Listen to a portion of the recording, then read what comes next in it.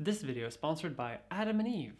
Use the code MIA for 50% off one item and free shipping to the US and Canada.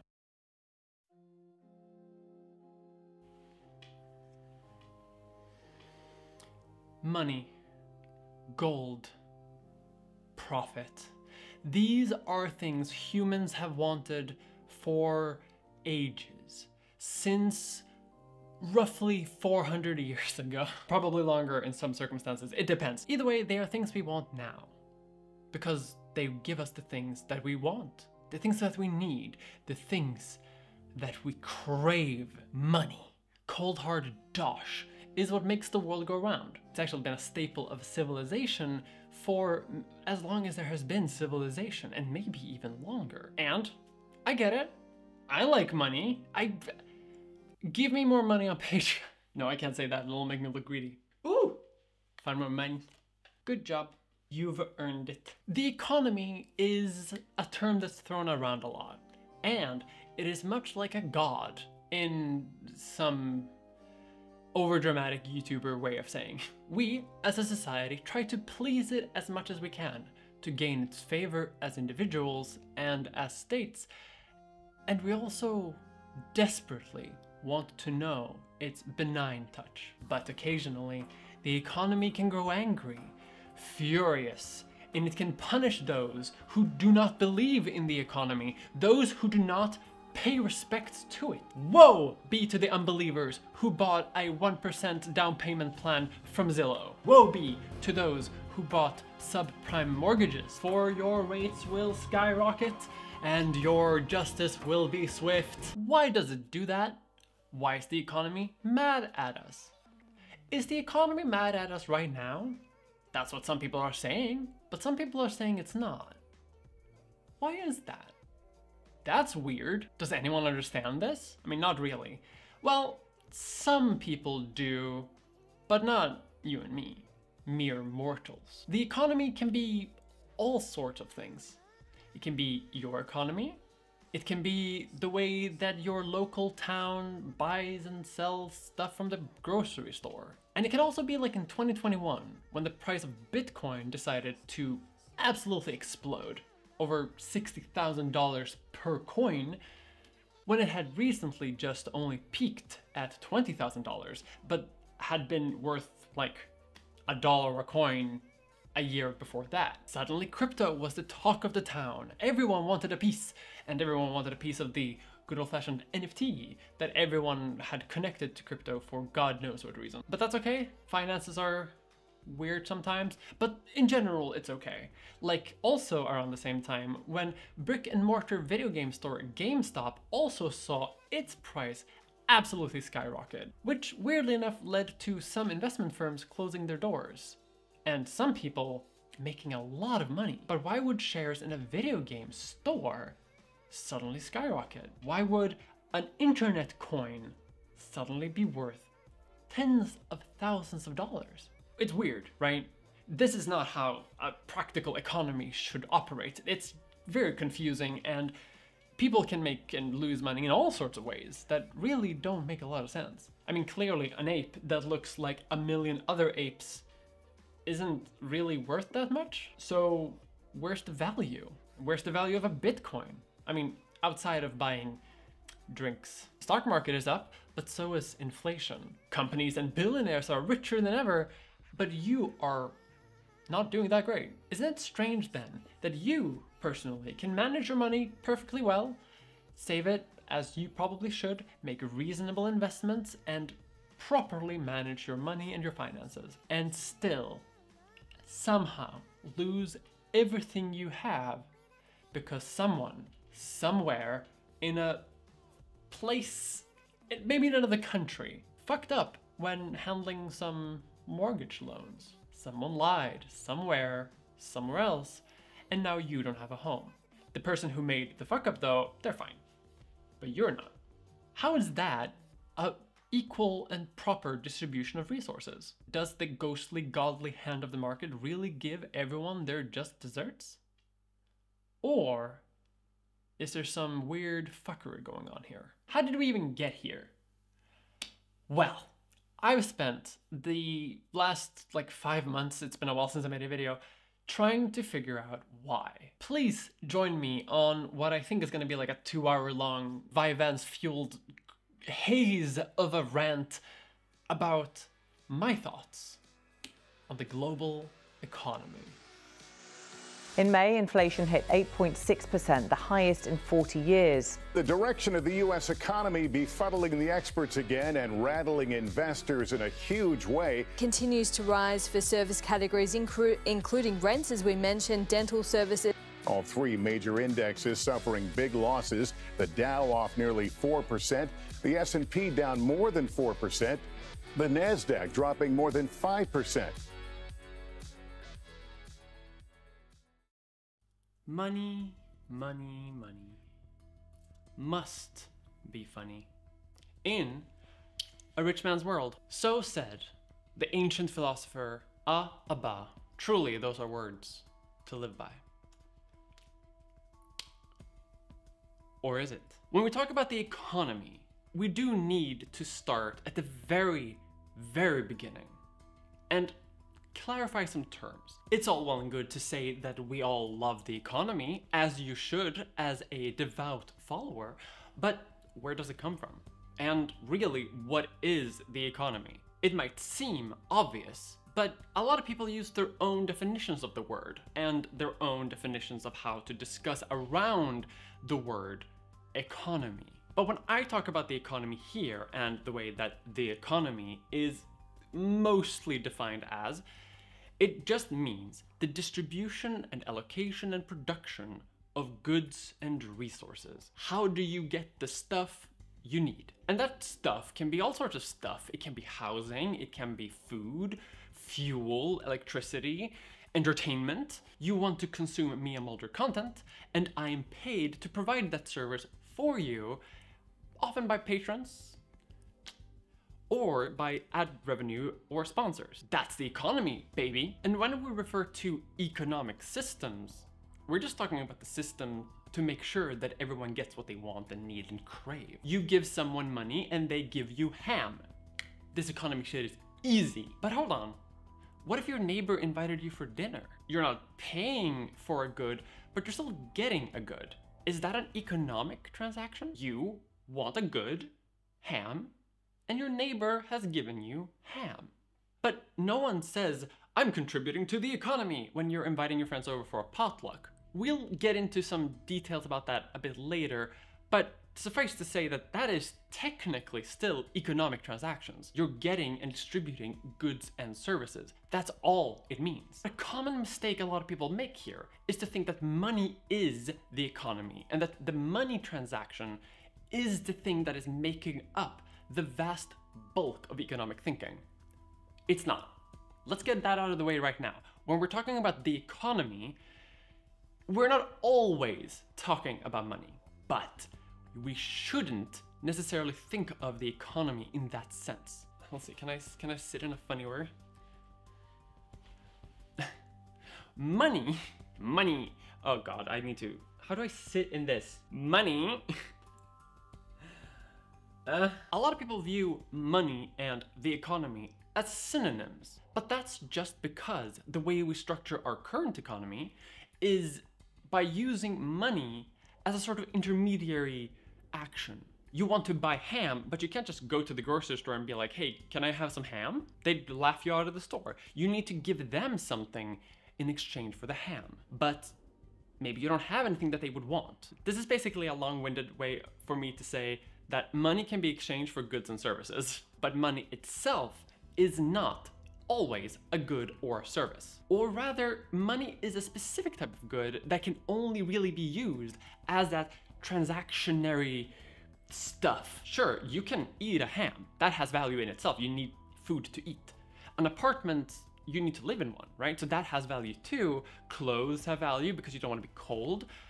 But money only has value because we decided it has value and we've decided that they're worth a certain amount of stuff that then can be exchanged for things that actually have real value, like food or housing or entertainment.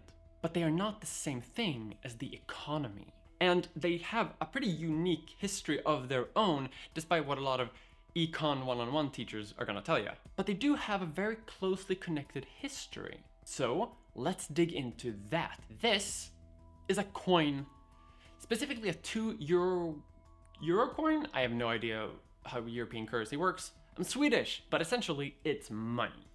We all want it, we all crave it, Sometimes people kill for it, and people will do basically anything that they can in order to get more of it. In our modern day society, the accumulation of money is one of the main driving forces of everything we do. Why do you get up and go to work? Sure, you get up because you need to make money to buy food, but that first step is still to make money. There are very few people around in the world right now who are not focused on making money in some respects. Sure, it might not be your passion project, but everyone needs money, right? You might not live for money, except you kind of do. Unless you're exorbitantly wealthy and financially independent, odds are you have to get money in order to be a person in the world. And if you don't have a job or contribute to the economy, odds are you're not going to make any money, and if you don't have any money, odds are things are not going to be that great for you.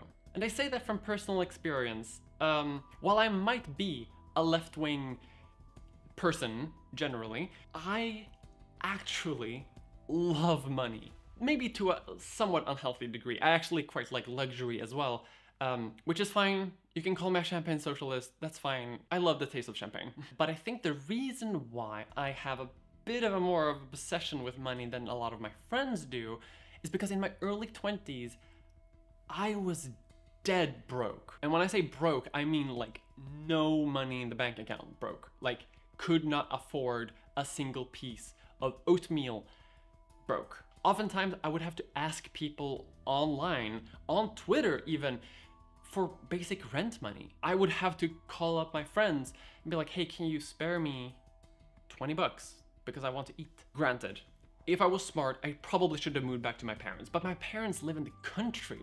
Where would I find a job there? And frankly, my parents aren't really the richest people in the world either. I come from a very working class background, so I wouldn't want to burden their resources either. I would occasionally be forced to crash on friends' couches because I didn't have a place to stay. It was not great. I will admit, this was not a great time in my life, and I'm not very happy about it. In fact, you can see at the very beginning of my channel that I live in kind of a very small office space that's not really a bedroom. And I've talked before about how that made me a psychological wreck of a person, and you know, that leaves some traces. Now though, I'm great. This channel has been a booming success, and I'm not struggling anymore, thank Christ. I'm not rich by any means, but I'm doing fine. But the thing that I carry with me from that time is that every penny counts. If I can maximize income in any type of way, then I will try to. But you know, I'm not a monster. I have morals. I wouldn't put a YouTube ad on the first few days after releasing a new YouTube video. I mean, that would be monstrous. This would be a really funny spot to put a mid-roll in, actually. So managing money has become a bit of a side project of mine. I like to stay appraised of the stock market and unemployment values and things like that.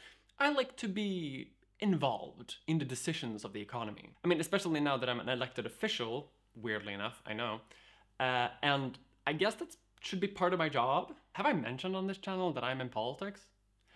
Stay tuned for my next video where I'll talk more about that. Now, even though money oftentimes is blamed for all the evils in the world, it's actually quite a neat invention because it does facilitate all the transactions we do in the world. What would we do without it?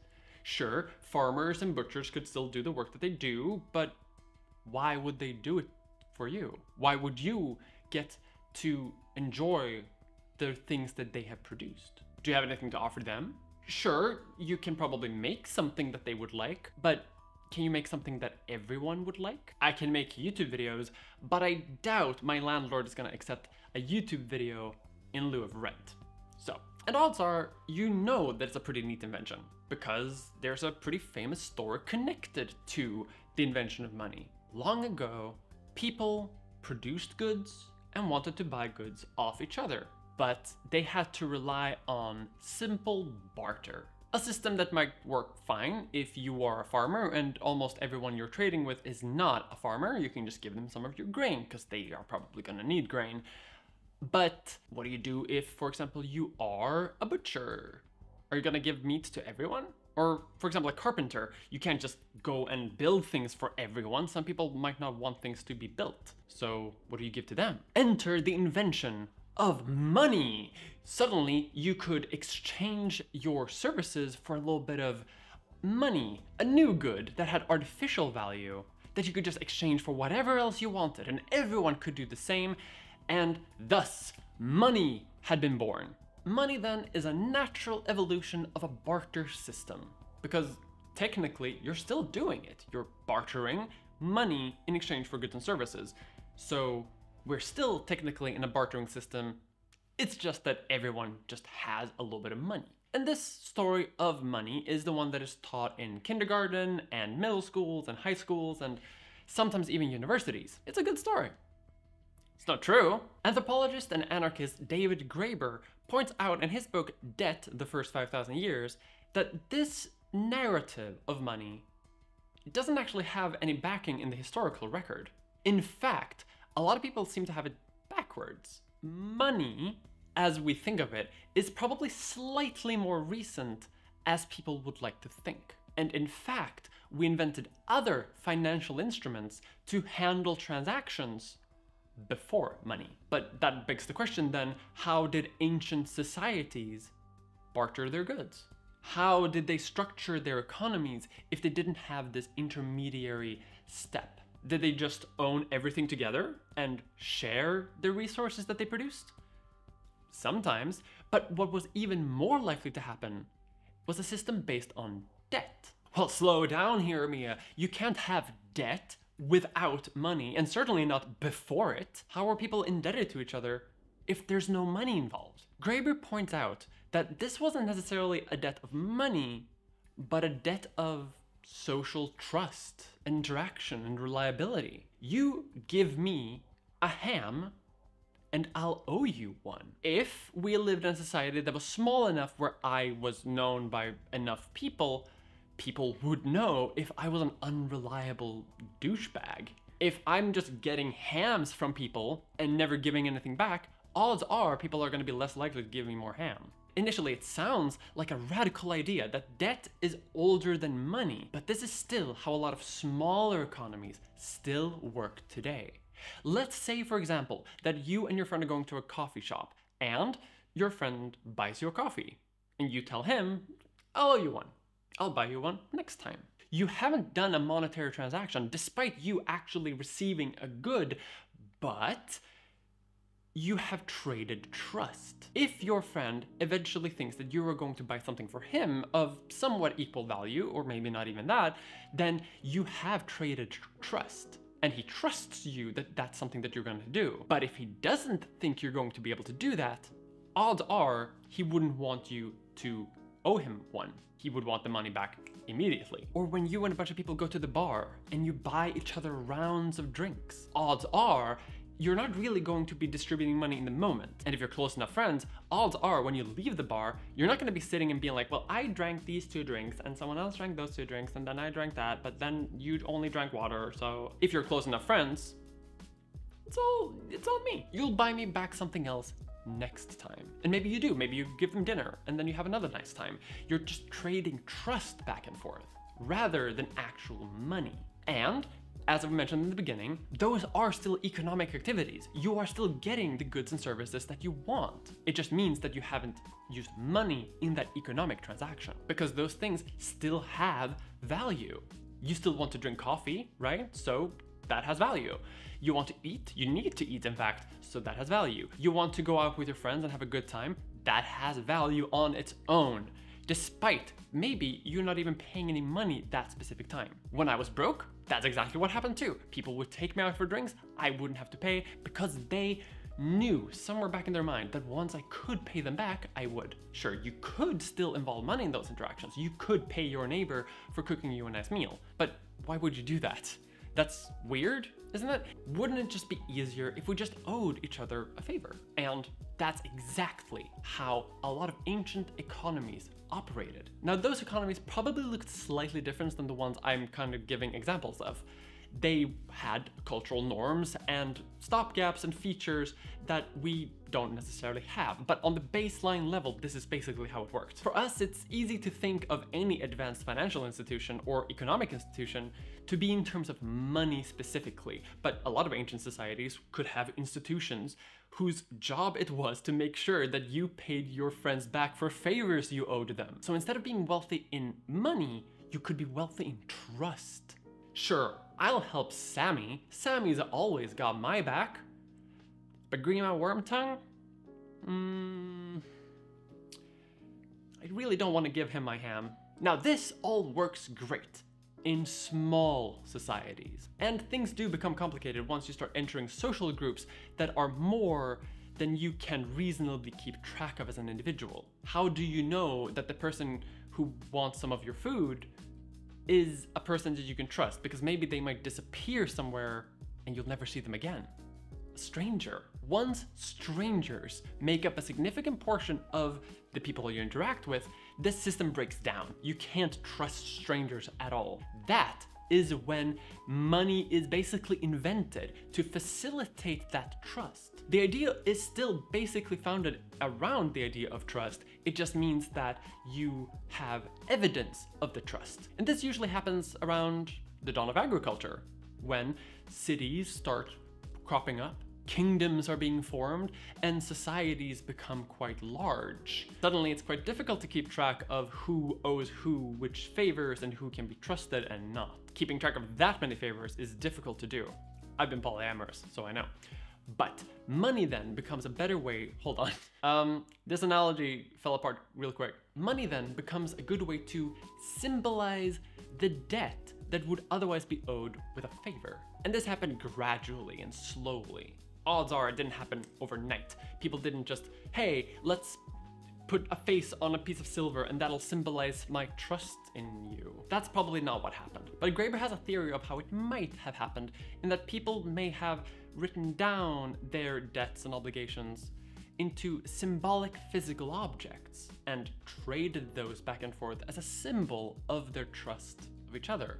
And suddenly that's starting to look a little bit like money or currency. So if your tribe is interacting with another tribe and you don't really know each other that well, well, you can give them an object and maybe someone else from that tribe can give you the object back to show that there has been an exchange of favors. That seems like a pretty reasonable tradition, right? And a lot of tribes around the world you know, before industrialization and the Europeans came and ruined everything, operated similar systems to this, so it's not entirely unreasonable, as we've seen them occur in the world. This goes against traditional economic theory, doesn't it?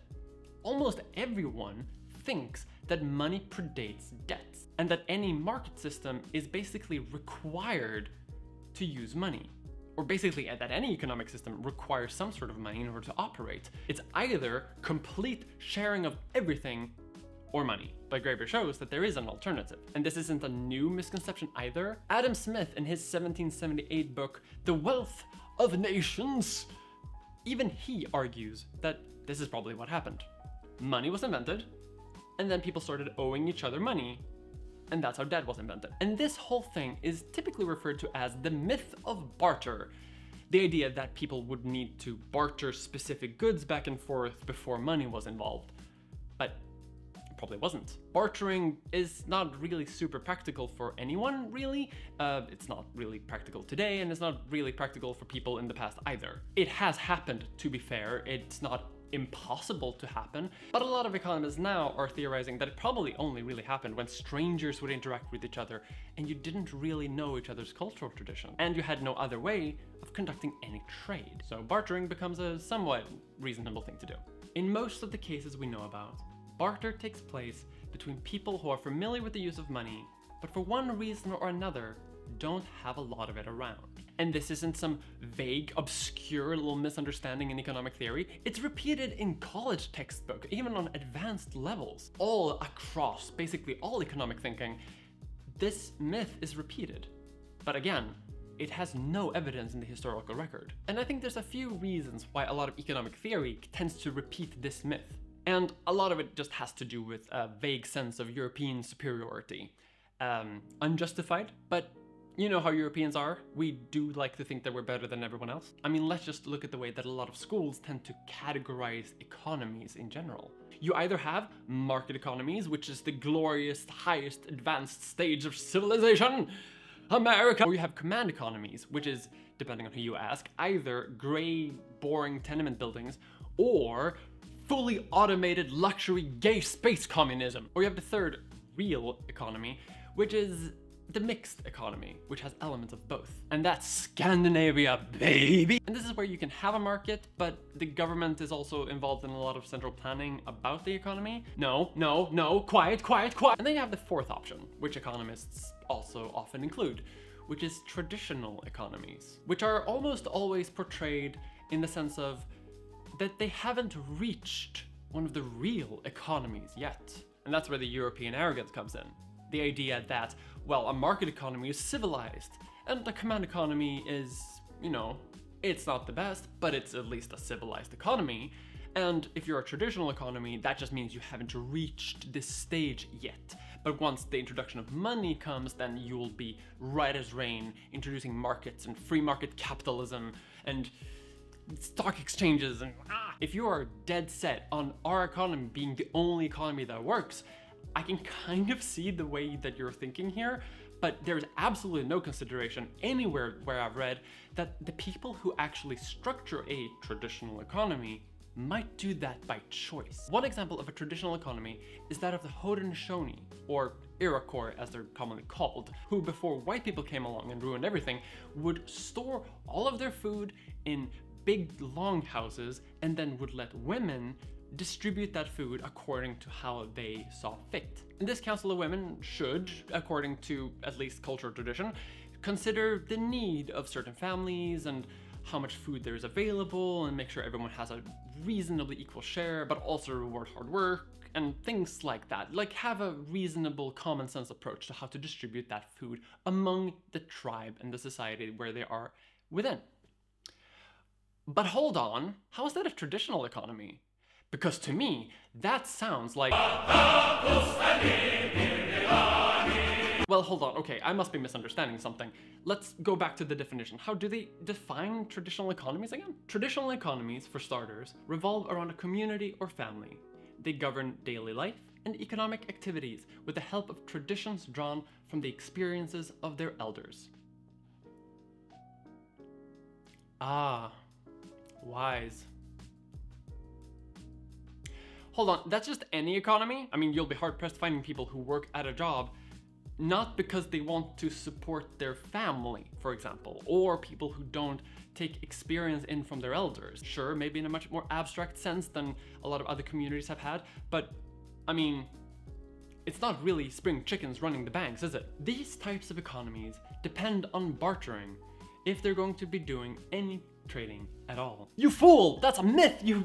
Ah! So there's a lot of assumptions on how they think traditional economies operate, and oftentimes they are put as lesser than those of a European economy, for example. Not just today by modern economists, but by economists and philosophers hundreds of years back in time. Across economic thinkers, there's almost always the idea that any reasonable civilization and society will eventually end up at the invention of currency and then use currency in order to do the things that they want to do. But that's not true. In fact, there are plenty of examples in history of societies who have had the chance to adopt money either from importing it from some sort of other civilization or by inventing it themselves and then choosing not to do that, structuring willingly their society away from money. Not because of ignorance, not because it hasn't been invented yet, but because they don't want it. Take, for example, a story that is also being presented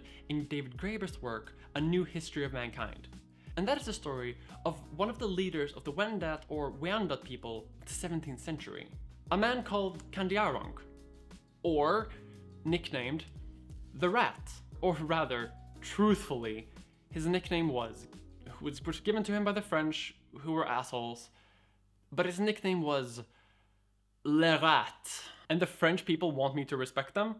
They don't respect anyone! The rat, or Kandiaronk, was described by basically anyone who interacted with him as kind of like a Giga Chad, a man who was extraordinarily skilled in rhetoric and who could basically debate anyone into a corner. And he's kind of famous in some respects, primarily because he negotiated a few peace agreements that made it so his tribe was a lot safer than it probably otherwise would have been during, you know, the 17th century. But he also had a burning critique of European society. A critique that a lot of Europeans just straight up didn't believe could come from someone who was a native of North America. Surely, the Europeans said, a savage cannot have this level of rhetoric. But no, he did. In fact, Europeans of this time, in my mind, were probably the dumbest people around the world. In fact, a lot of his ideas were so well thought out and such a good critique of contemporary European society that a lot of people, including Graeber, kind of credit him and other Native American thinkers for basically kickstarting the Enlightenment, that they could potentially be the source of a lot of 18th century European philosophy. Philosophy like freedom, away from the church and the state and the king. Why should they have such monumental power over us as individuals? In the 17th century, though, the idea that the church and the king had absolute power over you and that freedom was even a bad thing was pretty mainstream in European society. And then Kandiaronk, the Giga Chad, enters the picture and offers this wonderful critique of European society. I have spent six years reflecting on the state of European society, and I still can't think of a single way they act that is not inhuman. And I generally think this can only be the case as long as you stick to your distinctions of mine and thine. I affirm that what you call money is the devil of devils, the tyrant of the French, the source of all evils, the bane of souls and slaughterhouse of the living. To imagine one can live in the country of money and preserve one's soul is like imagining one can preserve one's life at the bottom of a lake. Money is the father of luxury, lasciviousness, intrigues, trickery, lies, betrayal, insincerity, of all the world's worst behavior. Fathers sell their children, husbands their wives, wives betray their husbands, brothers kill each other, and friends are false, and all because of money. In light of all of this, tell me that we Wyandot are not right in refusing to touch or so much as look at silver. Interesting ideas about philosophy aside, unfortunately, history happens, and a couple of centuries more of European colonialism and imperialism, we do eventually end up in a world where basically every society is using money of some sort. A world where we have debts and stock markets and internet TV and all sorts of things like that. And the economy now is super complicated because it spans the entire world. In fact, the economy is probably more even complicated than you think. Today, if you want a roof over your head, odds are you're gonna have construction workers from a varied selection of the world. Material will be shipped in from China, Japan, Africa, North America.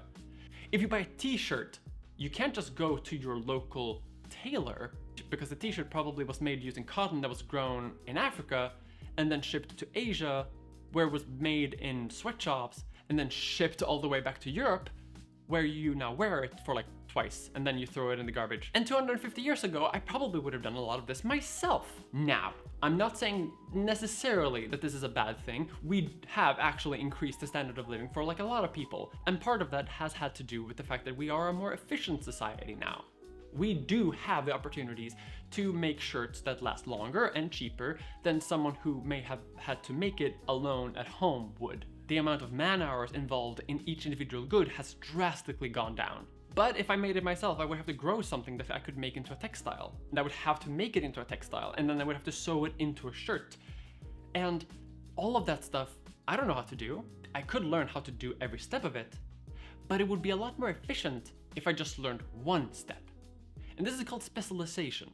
Instead of 10 people each making a shirt from scratch, you can have three people. One that grows the thing, one that processes the thing, and one that makes the thing. And that's just way more effective. And specializations tend to also birth more specializations.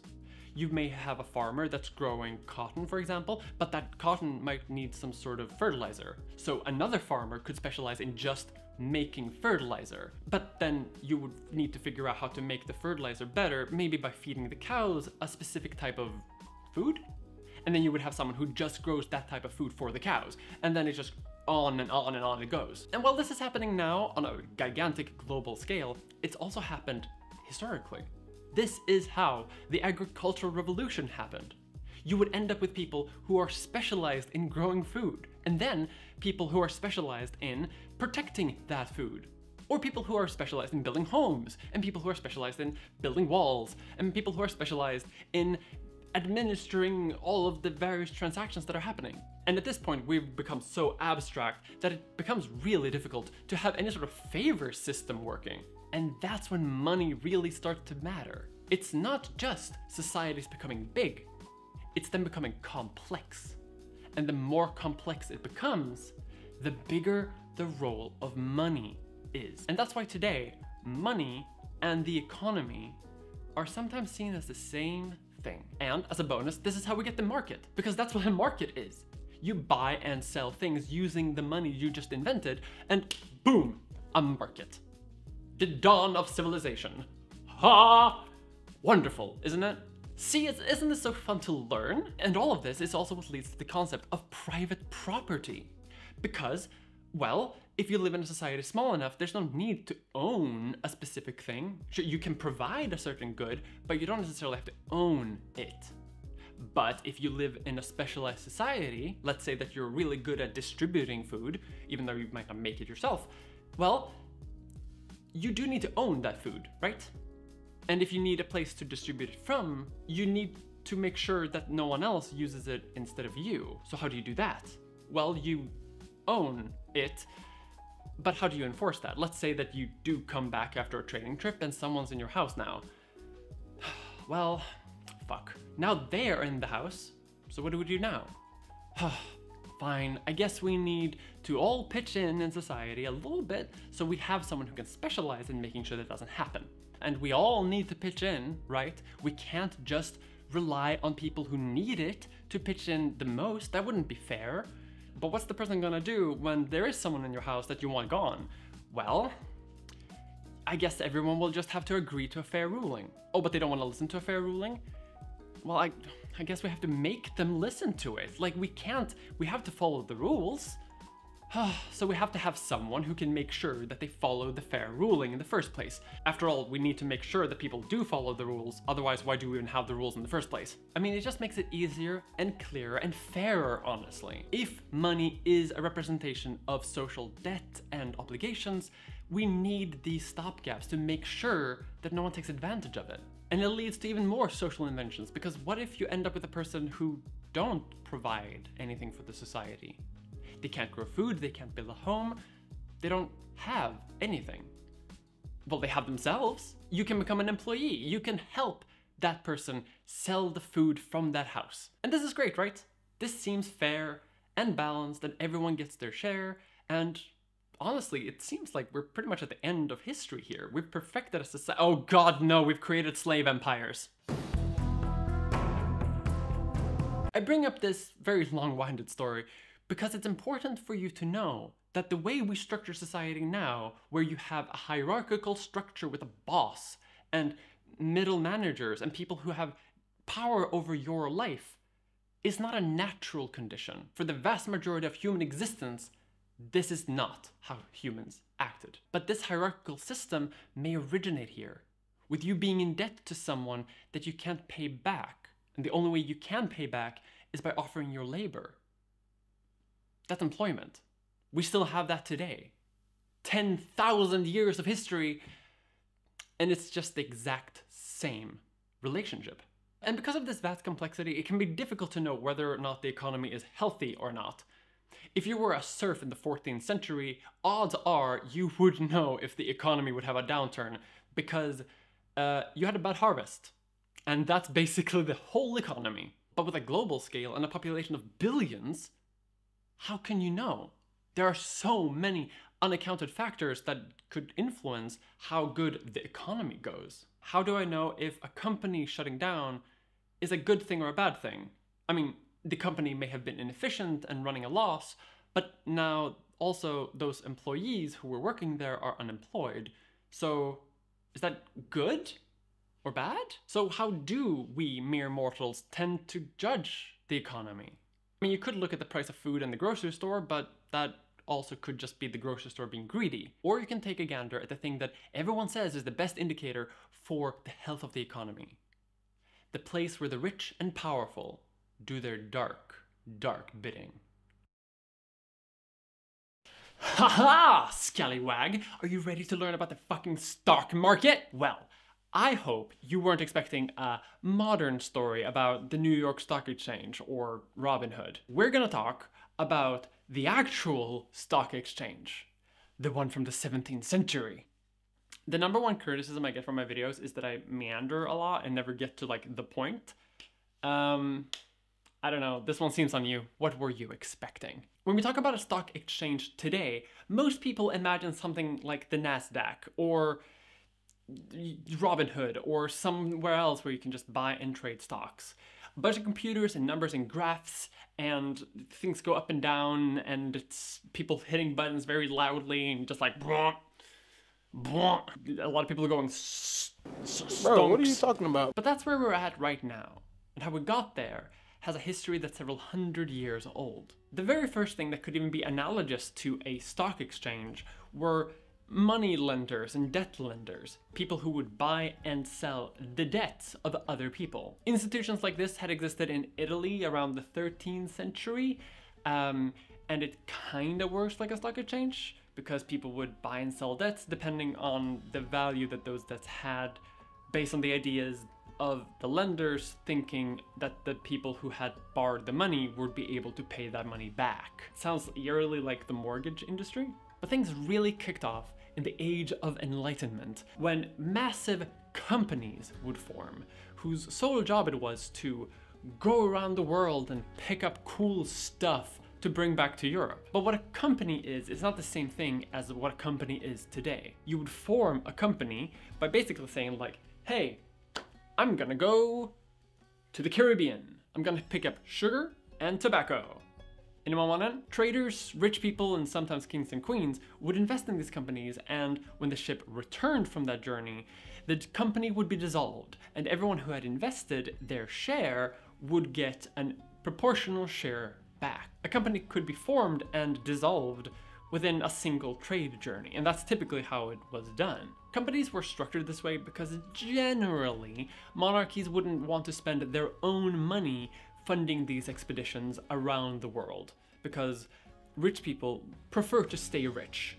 And if they can get the benefits of the wealth via taxes and shit like that, why would they need to put in the initial investment? So the company was a pretty reliable solution to how to do this it would open up the trading industry to people who might not actually be traders but had a lot of money. And that way you could fund trading expeditions without involving the crown's money. Now, of course, I'm extremely overly simplifying everything here because we're talking about several hundred years of human history and and obviously these investments were pretty risky. The ship could sink, the crew could mutiny, and sometimes the ship could be beset by pirates. So odds are that if you invested in one company, you probably wouldn't do that great because that company could just go under. But people back then did what people do today. They diversify.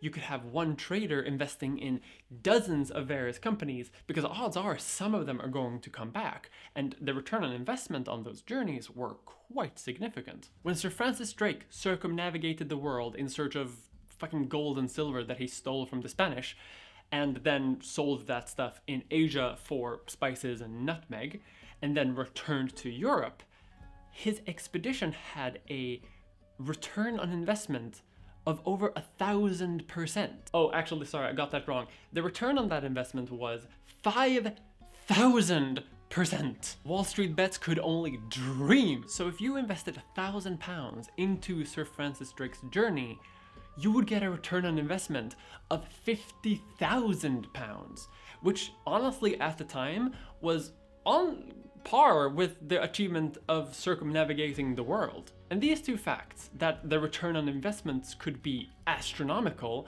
and that the risk could be quite high, led to the formation of trade companies. You've probably heard about these, things like the East India Company and the West India Company and those types of companies, known for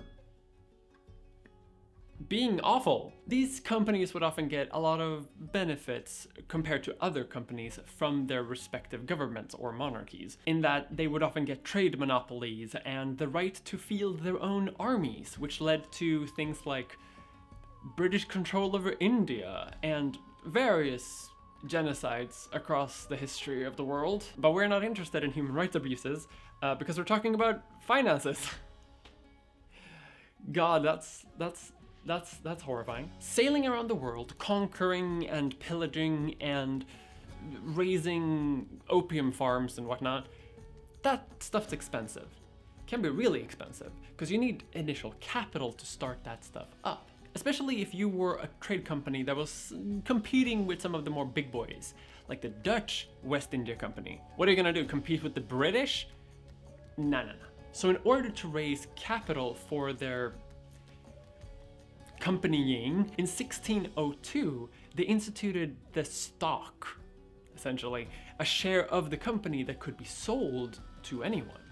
And for whatever you would want to sell it to, assuming someone would want to buy it. And then in 1611, the first stock exchange was created, which was basically just a building where they would do the trading. Before this, you could just walk up to a person and be like, hey, do you want to buy do you want to buy 100 shares? Buy my stock. And at this time, the only stock that's being traded on the Dutch stock exchange is the one of the Dutch West India Company. But again, other companies were still around. People would still form companies to go on individual journeys and they would come back and dissolve the company again. It's just that these massive monopolized companies were the big ones.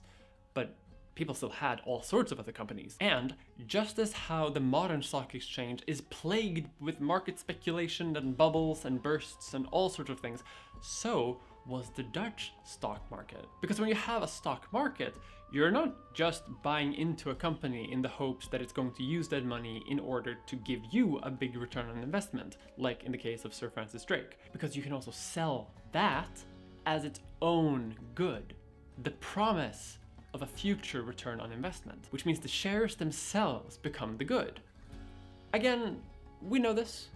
This is how the stock market works. And so far, the stock market still makes kind of intuitive sense. You still are promised a return on investment, and maybe you think that there is a lower risk than the person trying to sell you a share in the Dutch West India Company thinks it is. So therefore you would like to buy the share off of that person despite that person buying it cheaper than you would. That falls apart pretty quickly, because eventually people will start speculating on what the stock price could be eventually in the future. This leads to something called the greater fool fallacy. Let's say, hypothetically, that you own shares in a tulip expedition and the expedition company is doing quite well. It has a regularly high return on investment, and yeah, sure, there could be a pretty good return on investment if you were to invest. But if you start to speculate that you could sell the stock to someone else for higher than you bought it for,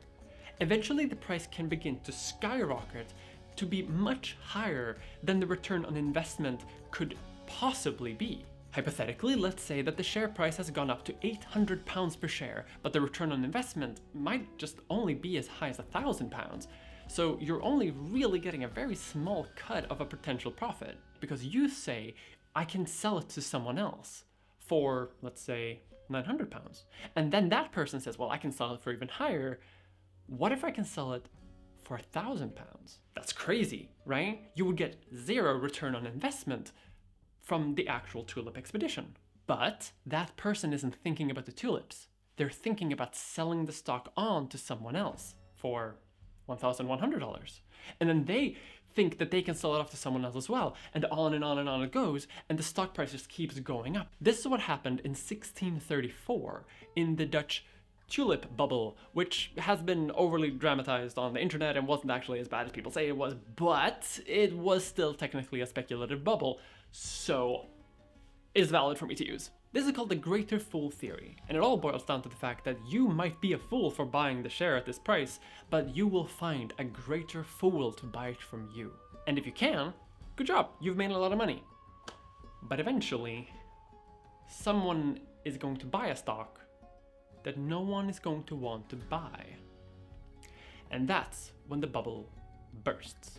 Over time, more companies are included in the Dutch stock exchange, and other nations start to institute their own. And this is, essentially, how we end up with the modern stock exchange. There have been some barriers here and there, some financial laws have been implemented, and some security measures have started to happen as well. But all in all, it's basically the same system. Except, of course, today, instead of it happening in a big room where people actually walk up to each other and try to buy and sell stocks from each other, today it happens usually digitally, or by people doing massive trades in the billions of dollars and selling them seconds later, or even by computers who do it automatically, buying and selling back and forth continuously based on weird metrics. Every single trade making a tiny, tiny low profit, or losing a little money.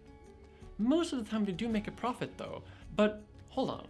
If someone is making money, where does the money come from?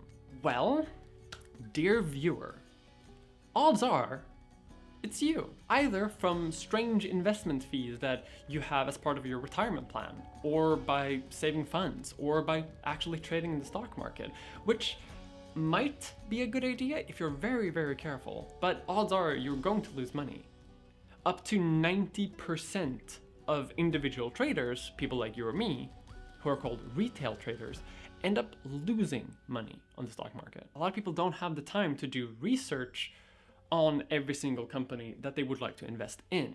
And it's not really helped by the fact that there are a number of financial instruments that aren't really connected to shares themselves, but rather about the concept of shares. But one of the main points I want to get to here is that there is a world of difference between the price of a company's stock and, let's say, the profitability of the business itself. They are two completely different markets. Although people are more likely to invest in a company if it is doing well. There are many companies that are doing perfectly well but are just not listed on a stock market. There are tons of companies that have a sky high value on the stock market, but that might not actually be doing that well at all. Some companies are in debt or making a constant loss, but are still doing fine on the stock market. So of course there is a connection between the price of a stock and how well the company is doing, but that connection is tenuous at best. Simply because people aren't trading on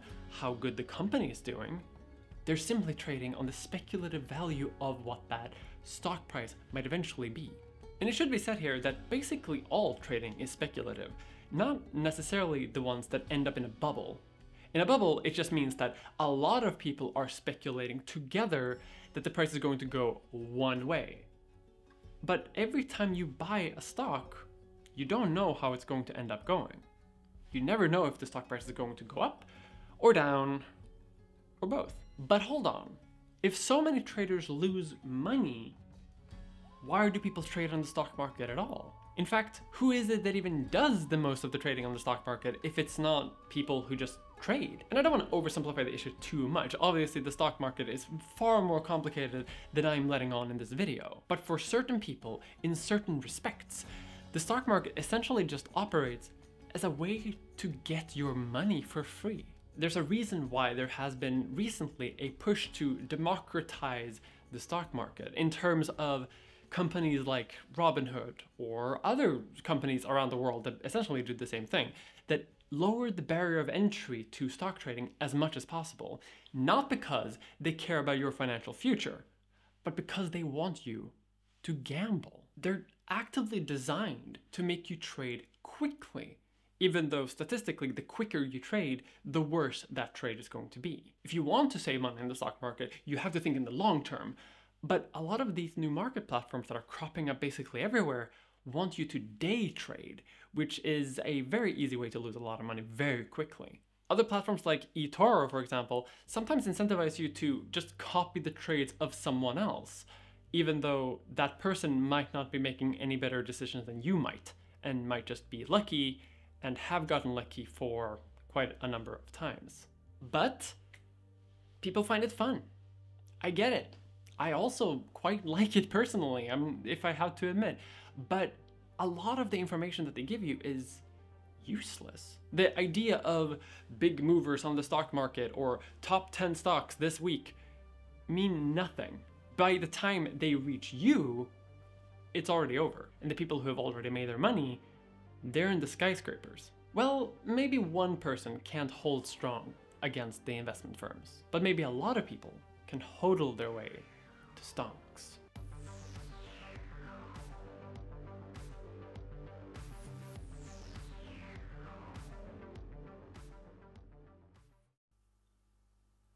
Hi. Welcome to my office. I'm sitting down because this video is gonna take four days to record otherwise, and I can't stand up for that long. A good way to illustrate the complexities of the stock market, good and bad, is to talk about GameStop. I mentioned it a little bit in the introduction, but I think it serves as a good example of the economy in microcosm, of a reasonable economic turn or trend, and then the absolute fuckery of the actual financial market. There are a few terms we need to go through that no one really needs to know about unless you're a massive financial nerd who uses Robinhood, uh, or is or name me, I'm older. Like, what even is a short squeeze? What is a GameStop? GameStop is a physical store that you would have to go to with your feet if you wanted to buy video games or video game consoles or anything to do with gaming. If you're over 30 years old and also had a crippling video game addiction like me, this place was like a second home. For young people, it was basically Roblox. A short is betting against the value of a stock. You make money if the value of the stock goes down. It works by borrowing shares from someone else and selling them immediately at the current price, with an obligation that you will have to buy those shares back later to give it back. Which means that if the value of the stock has gone down, you profit on the difference. This is called a short position. And hypothetically, if there were 100 shares on the market and you had 10 of them that you had borrowed and then promised to buy back, that would mean that the short position would make up 10% of the total share market. This is slightly riskier than just trading on the stock market normally, because if you buy a share, the lowest the share can go down is to zero. But a share price can go up forever, and you have to buy those shares back. Investors and traders tend to do this when they see a business that's probably not gonna make it, that's struggling. And GameStop is an obvious contender, contending with online spaces that's selling video games, a chain that's closed in multiple locations all over the world, year after year after year. Yeah, this company's kinda circling the drain, isn't it? But if the price goes up, well, you still have an obligation to buy those shares back. But because shares can be borrowed, they can be borrowed twice, or thrice, or four times, or even more. And because of this, you can end up in a situation where investors have promised to buy back more stocks than there are stocks available. Now, in 2021, regarding GameStop, the total short position among all the investors that had shorted GameStop stock made up 140% of the total amount of shares on the market. This isn't that bad necessarily. I mean, obviously it is too much of a short position than you could reasonably expect, but it's really fine. If you need to buy the stock back in order to give back your borrowed shares to someone else so that they can also buy back their stocks uh, to cover up the fact that there's not enough stocks on the market, that's actually fine. Most people will have probably made their money back already, and even if you don't, odds are that in the myriad of different trades, most people still make some money. But if you put up a short position early enough, odds are that no matter the, what the price is going to end up being, you're going to be able to afford to give it back and still make a profit. For a good example of this, look at Tesla, the brainchild uh, of a child. A while back, the share price of Tesla skyrocketed. And most analysts probably agreed that the price was a bit too high. A lot of people said that the company was overvalued and that much of the new value in the stock was probably just because of speculative value. People were betting that someone else was going to buy the stock from them at a higher price. So if you're a savvy leech on the world, I guess, um, you could do something savvy. You put up a short position. And odds are that because the price is really high, and it might even go higher up than what you were putting in the short position on, over time, that price is going to stabilize. And at that point, you've made money. But what if the price does go up instead? What if you expected the price to go down, but it doesn't? You'd lose money, obviously. As a trader, you're generally not supposed to do that. In fact, we may have to talk about this on your upcoming quarterly. Well, investors have two choices generally. Either they stick it out and hope that the price goes back down later to make sure that they can give back the shares that they borrowed and sold ages ago. And when a lot of shares are being bought of a stock, that typically means that the price is going to go up. And when the price goes up, other investors are faced with the same choice. Do you stick it out or do you buy shares now so that you limit your loss? This is what's called a short squeeze. And sometimes certain investors can artificially, maybe, maybe not, increase the price and force other investors to start buying back shares too. And the rumor was that GameStop is going to be the next big stock. Everyone should invest right now because we know that a lot of these firms have short positions on GameStop, and if we can bring up the price, we can set the ball rolling. Now, because Dan Olson decided to make a video about this specific thing right before I sat down to record this thing, thanks, I, it's actually a good video. I'm not gonna go too much into detail about that right here because it's not really the focus of this video, but it is the focus of his video. And now, of course, profit. because now so many investors have bought stocks, which further and further drives up the price over and over again. And when the price of a share goes up, suddenly it becomes news. More people want to take part in this. There's a stock on the rise. Everyone wants to be part and no one wants to miss out. So more people buy and that increases the price even more. The question at this point then isn't if the price is going to go up, it's when the price is gonna stop going up. And there's quite a lot of money involved here.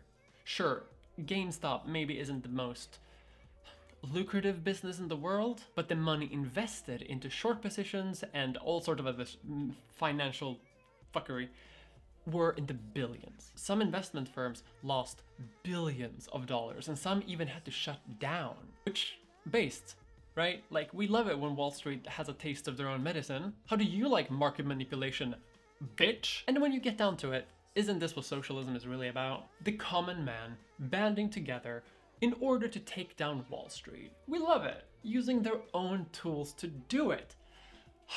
Lovely stuff. And when one makes media of such an event, like some people choose to do, a lot of people tend to focus on the average person who managed to make a bit of money. Sometimes even framing it as a gallant David versus Goliath combat, where the little guy takes on Wall Street. Except, of course, that's not really the true story, because the vast majority of the money involved fighting Wall Street investors came from other Wall Street investors. Contrary to the popular narrative, this is just how the stock market works.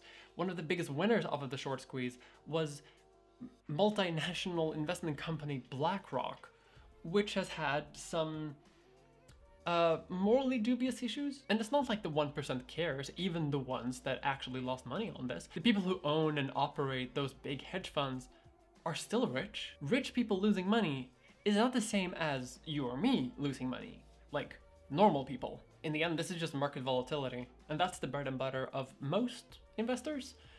If a price goes up or goes down, doesn't really matter because you can make money on the difference. Some people even buy both a short position and a normal position at the same time, essentially borrowing the stock to themselves and just correct them whenever they make a profit off of it. And then of course, you can do the exact same thing with GameStop as you could with Tesla from the previous example. The price skyrockets, and then you put the short position in.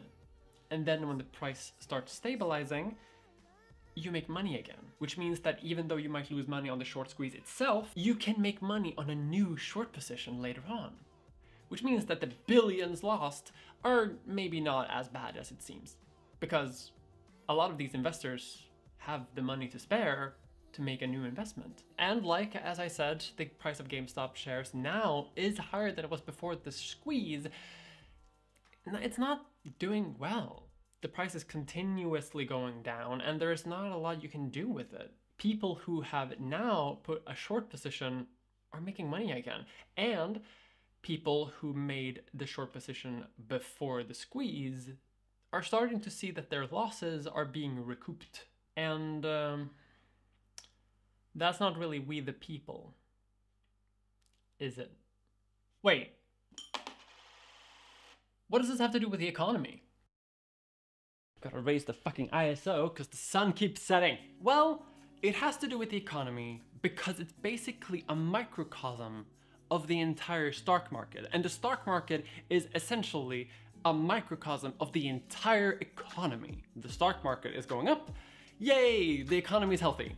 And if it's going down, ah, ah, ah, ah there are some quite important differences, but in general, kind of how it works. And that's why it's oftentimes used as an indicator for the economy. But how does that work? Surely goods and services, which is the economy as we've established, can't be traded in the same way that shares on the stock market can. And it's not as if people are buying bread based on its speculative value. That's kind of true, but think of things like real estate, art, or land, or gold, or silver. And while you might not buy bread based on speculative value, a lot of farming companies do. During the last COVID-19 pandemic, for example, the amount of food consumed in restaurants drastically dropped.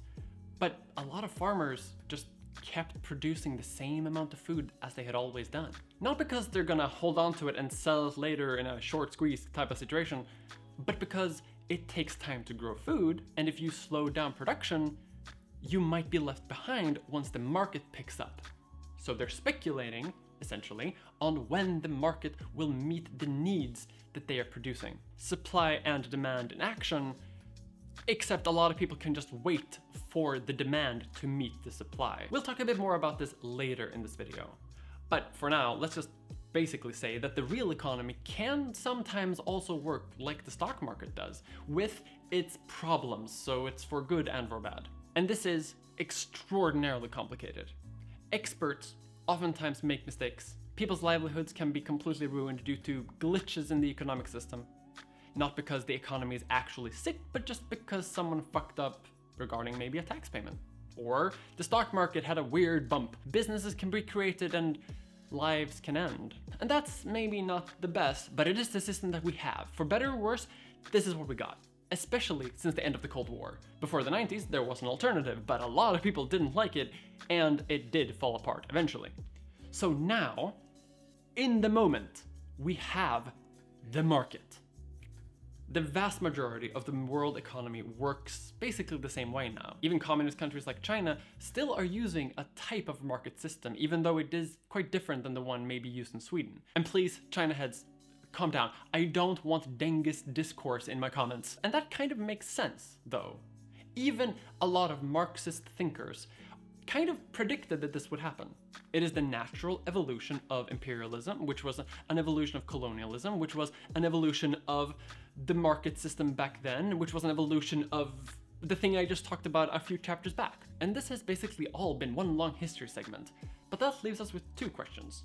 One, is it any good? And two, what's gonna happen now? We're trapped in the present moment, so what's gonna happen in the future? If economic systems have changed over time up to now, what's gonna happen next? Well, we'll talk a bit more about whether or not it's good, and I think you can guess what my opinion is gonna be, but let's first talk about what's gonna happen next. There's a lot of fun theories. A lot of thinkers basically see three roads ahead of us. And these paths forward are tightly wound around the ways we shape our entire society. Because choosing how we structure our economy is basically one of the biggest political decisions that we can make. Strange it doesn't seem like that sometimes. But anyway, the first step forward is nothing. Nothing happens, and we end up basically where we are right now. And that that's fine. That's the idea that where we are right now as an economy and a civilization is basically the peak. That we have bested all other types of structuring a world and that that's perfectly fine. This is kind of, again, overly simplified, the worldview proposed by Francis Fukuyama in his book, The End of History and the Last Man, who I have bullied many times in previous videos and who everyone loves to bully because he is wrong and incorrect and also wrong.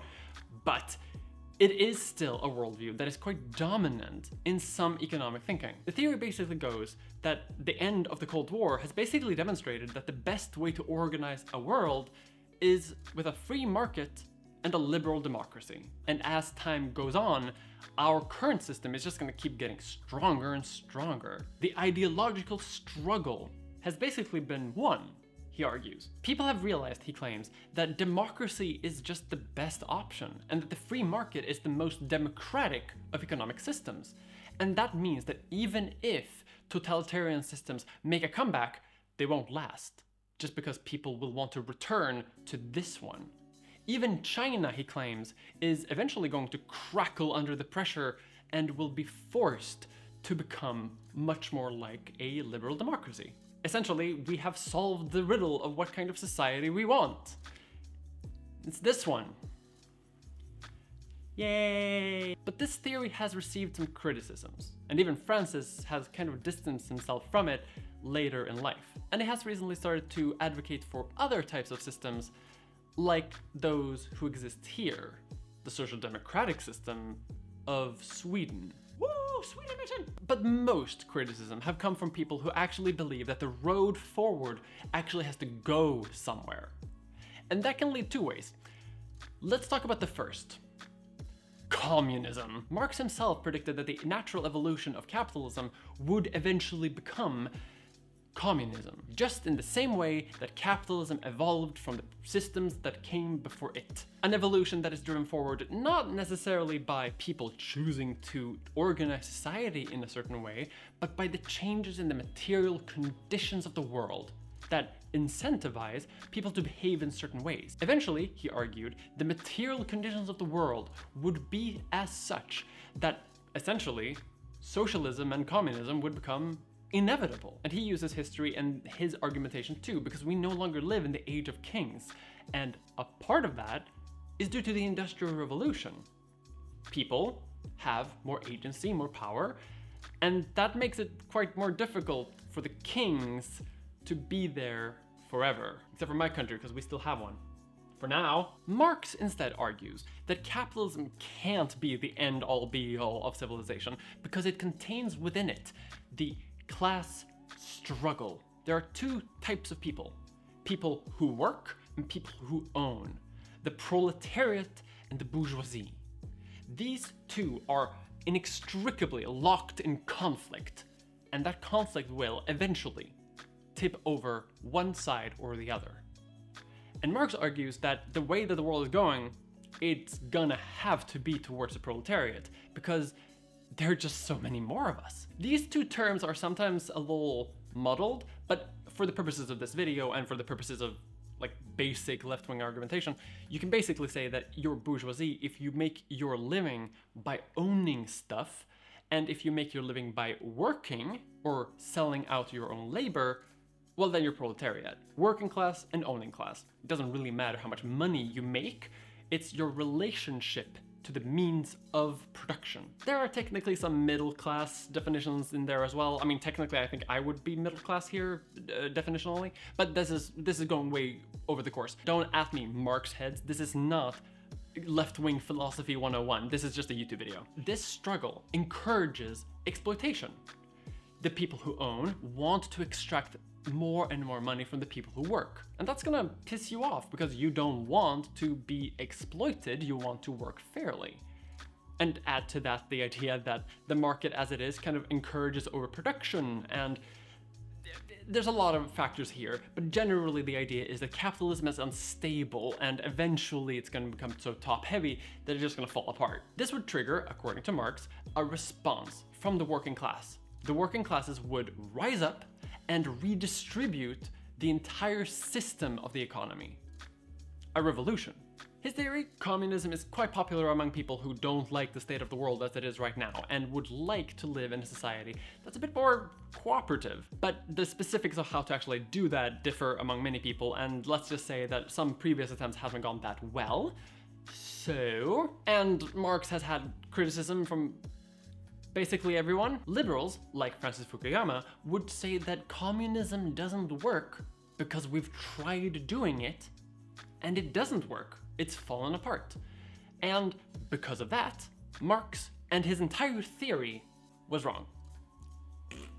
Get bent. But a lot of communists might say that those failures might just be analogous to the failures of peasant rebellions in the Middle Ages. Peasant republics in the Holy Roman Empire, for example, frequently sprung up and rebelled against their feudal lords, but oftentimes would often be crushed violently. But that doesn't necessarily mean that the monarch is the end of history either. Feudalism crushed peasant rebellions for like 400 years. We've only really had capitalism for 200. So, a lot of left wing people would say that the game's not over. But a lot of people aren't on board with communism for one way or the other. And that's fair. It's a scary word, and as a politician for a formerly communist party, the word is controversial, and I shouldn't say much more than that. But then there's a third option.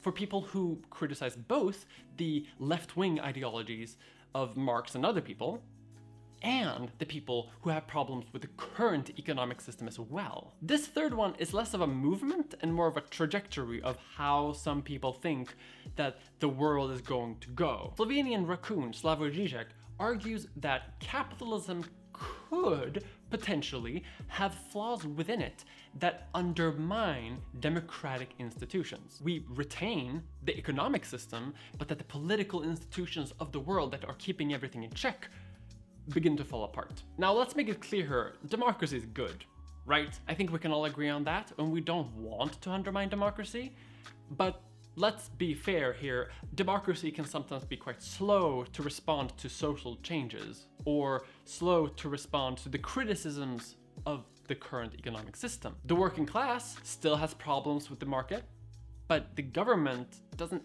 always answer those questions. And as we've seen around the world, a lot of places have had democratic backsliding.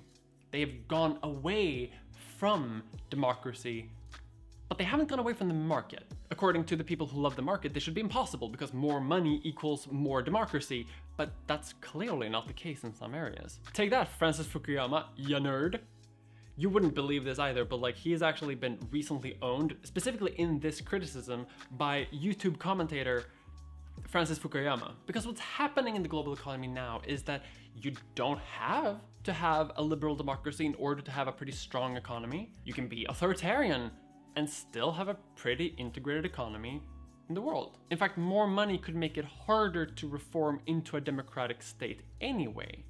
Because, well, if money is power and everyone needs money and everyone needs money to exchange for resources, well, the people who have the most money then obviously have the most power. The fact that there is a group of people that own most of the world's wealth basically means that they have more political power than you do. Sure, you both have one vote during elections, but they can put in ads, they can affect studies, they can lobby politicians, they can reform things or have special privileges because they argue that they are job creators. You have none of those privileges, and that basically means that they have more power politically in a democratic system than you do. People who then see this as a trend towards authoritarianism argue that as economies grow bigger and wealth inequality also grows bigger, you're going to end up in a situation where you have very, very few people controlling everything. Not just giving you a shitty paycheck, but making sure that you are reliant on them for, let's say, housing or food. Basically, monetary feudalism. Even if a lot of stopgaps were available here, I mean, rich people just have better opportunities for running for office than you do. If you're poor, good luck getting elected, but if you're rich, a lot of people basically expect you to run for office, even though you have no reasonable ability to. Like, why do some people want Mark Zuckerberg to run for president? He invented a face rating website. That's not really any good metric for how to choose a leader. And what if that keeps going? And it just gets worse and worse and worse and worse. Then what? Even just moderately rich people already have their interests much better represented in the political sphere across the Western world than most people do. If you're rich, odds are, if you are in favor of a law, it is much more likely to get passed. The interests of poor people are barely even discussed. So then the question is, well, is this happening? Well, trust in democracy is going down. People are becoming more reliant on charismatic authoritarians. Populism is going up, and easy solutions are being marketed to really complex problems, all of which lends itself to authoritarian solutions. It's not the peak of human civilization and the high point of how we should structure society. It is the gradual establishment of the free economic zone of Earth. I prefer the term autocrat. Ah, ah. But of course, I gotta mention, the economy has brought many benefits, right? I can sit here and be negative all day I want, but it's still good, isn't it? Money and markets have motivated people to work harder and to try to improve themselves as people. It's not just a economic benefit, but a personal benefit you become a harder worker, you have drive, ambition. Surely those things are good for the world. Thanks to supply and demand, it's a very easy and reasonable way to distribute goods to anyone who deserves it. The ghostly hand rewards hard work, tenacity, innovation, all things we really want in a society, don't we? It supports people taking risks to come up with brand new ideas that can revolutionize the world. And I mean, let's not forget about choice. I mean, you gotta have choice, right? I mean, you have agency as an individual, and if you only have one choice at the store, well. Do you want to make sound financial choices? Invest in the Mia Mulder Real Estate Investment Fund. Our trusted financial advisors are trained and specialized for long term growth and sustainable dividends, and have recently made us qualify as dividend aristocrats. Mia Mulder stock has had an unbroken track record of yearly growth, regular dividends, and of using innovative technologies to secure your investment for your future.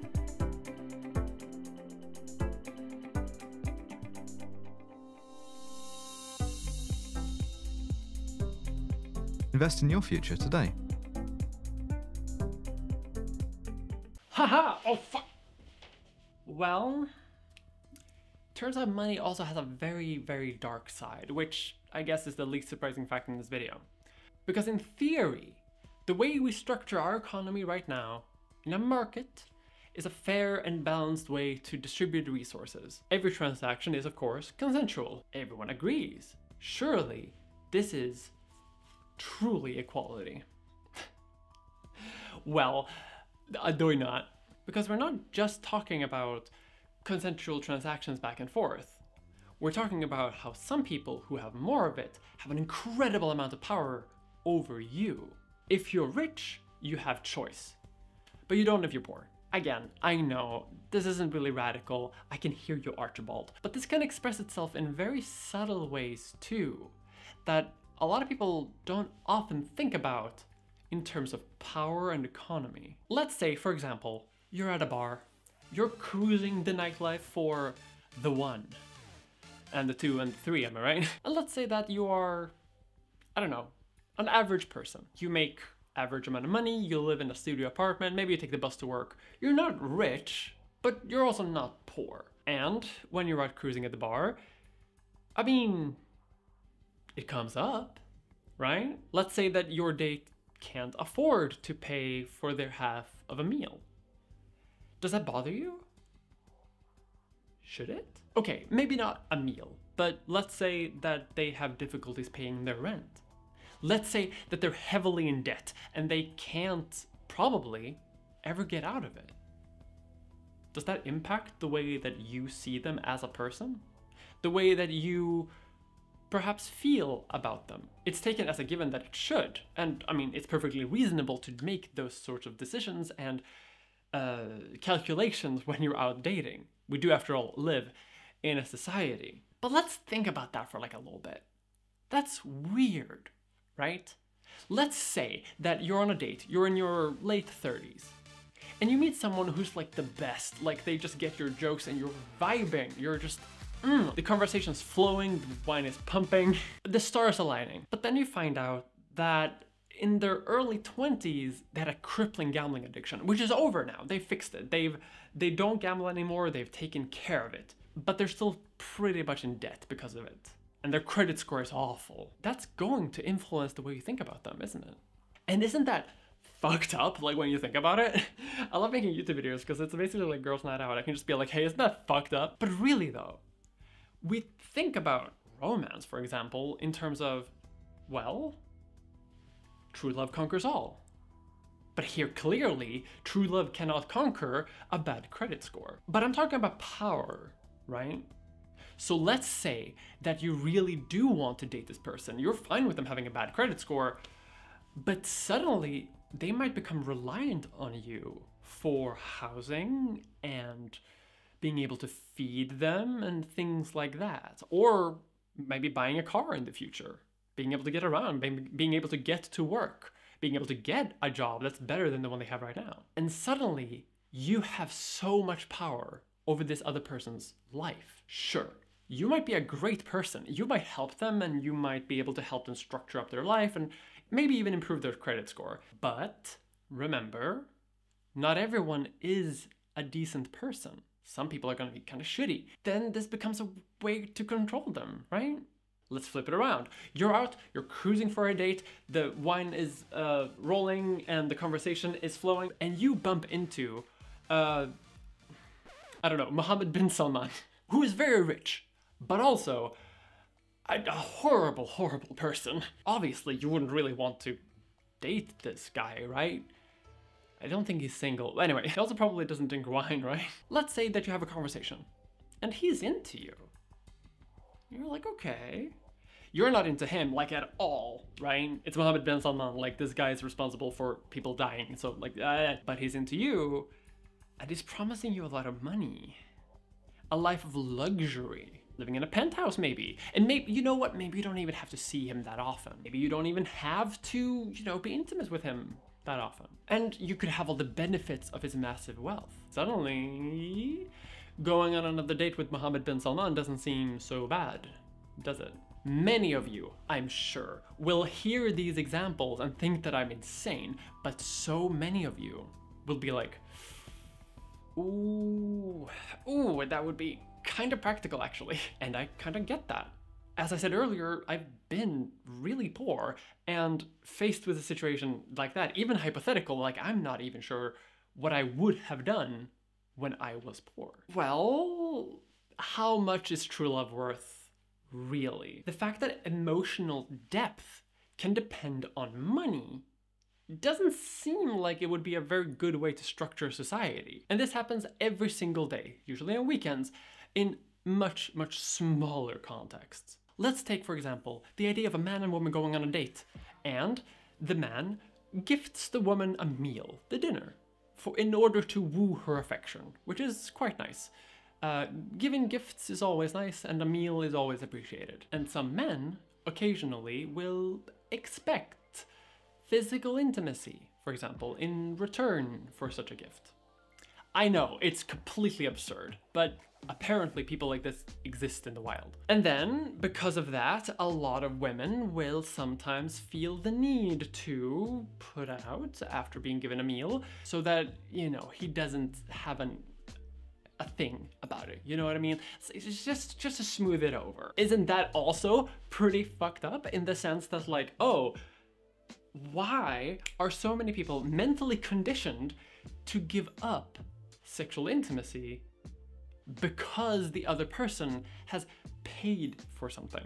But again, that is completely fucking absurd because surely you're wooing another person by gifting them the meal, Greg. You're not paying for physical intimacy, you're paying for a bowl of spaghetti that you're gifting to a person so that they will like you. This isn't a transaction. You're not paying for sex with a bowl of spaghetti. Greg, Greg, you're dropping the ball. You're giving her the ick. Giving her the ick. Is that how you say? You're giving her, giving her the ick. a lot of people will see this and be like, oh, well, what do you mean? That's fine. This is a normal human way to have human interaction. But no, it's not, because if you invited your neighbor over for a pot of chili or soup, you're not expecting to fuck them after. You're gifting them a meal too. Greg, but you're not gonna fuck the old lady in Unit 2B, are you? Greg! I mean, obviously, this comes from a long history, right, of women not being able to pay for anything, women not even having their own credit cards, and men having to pay. Well, shouldn't women sometimes buy men dinner as well then? Sure. Why the fuck not? Embrace the fact that you have a credit card and are able to have a job. You know, if you if you fucking like a dude, buy him fucking dinner sometimes. Free yourself of the patriarchal ideas that control your mind and your wallet.